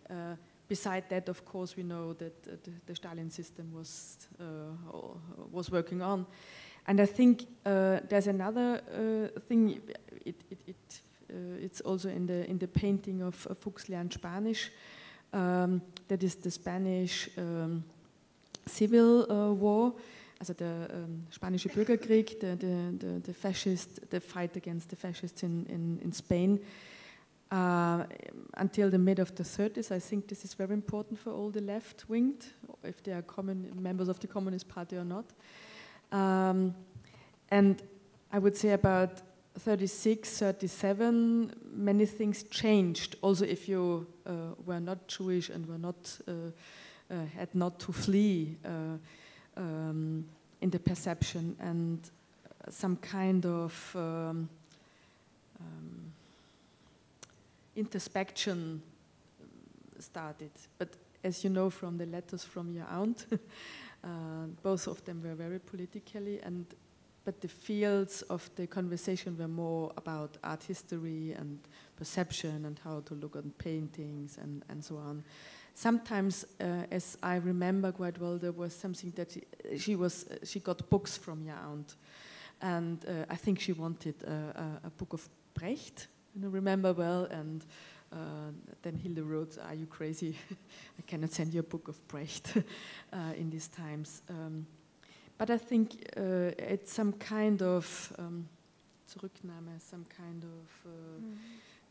making the steps backwards and concentrating more on, on artistic work, which she really loves to do, I think. Yeah, I mean, it, just to add a small note, I mean, it's such an interesting question that you ask. Maybe we can make a distinction between being political and being a communist. So it's possible that communism was for her like photography or just a, a me, it's a, me, a medium through which she could think in this moment, literally a specific medium but this doesn't make it less political, it seems to me. And we probably also mm. have to remember that the theater work was all coded as socialist. Um, the circle of friends, um, so many of the of the clients. So she she's really on a in a very particular political space. And then the explicitly communist part is a short period, and it does look like another art form that is being experimented with, but I don't think it makes it less. It's not to say she was less engaged in it, uh, or to say that the work before and after was not political. I think it was resolutely political. I think the teaching of the children at the end was was absolutely a kind of political statement. I think probably, in my imagination, communism is pretty big, but there's also uh, something bigger, and perhaps she's it's very interesting the idea that the Soviet Union was a kind of mirage of mm. of possibility as it was for many architects. And is, is, one of them, right? Yeah. And I think the, the, the word of solidarity is very important. So uh, I think uh, also I mentioned uh, Ilse Weber, which I didn't know until this morning hours, um, uh, I have to confess. Um, is to, of course, if you read the stories about the camp in Terezin and others, of course, but also Terezin was a special camp, I think. Um, there was a, a lot of confusion. Of course, it was some kind of organized confusion, and the self-organization, making the schools for children, trying to, to keep the teenagers out of the uh, of the streets, and and so on, um, and to to feel that you are needed. I think it's not the question if they know if they will be murdered or not. At the moment when you work with children, at the moment when you working or, or care for old people. So um, I think this is important. I'm very sorry. I have to look on my watch, and it's very late. Uh, and I think we have to close it. We, we still have the possibility to talk. I thank you very, very much for your inputs and for you for your discussions. Thank you and good evening.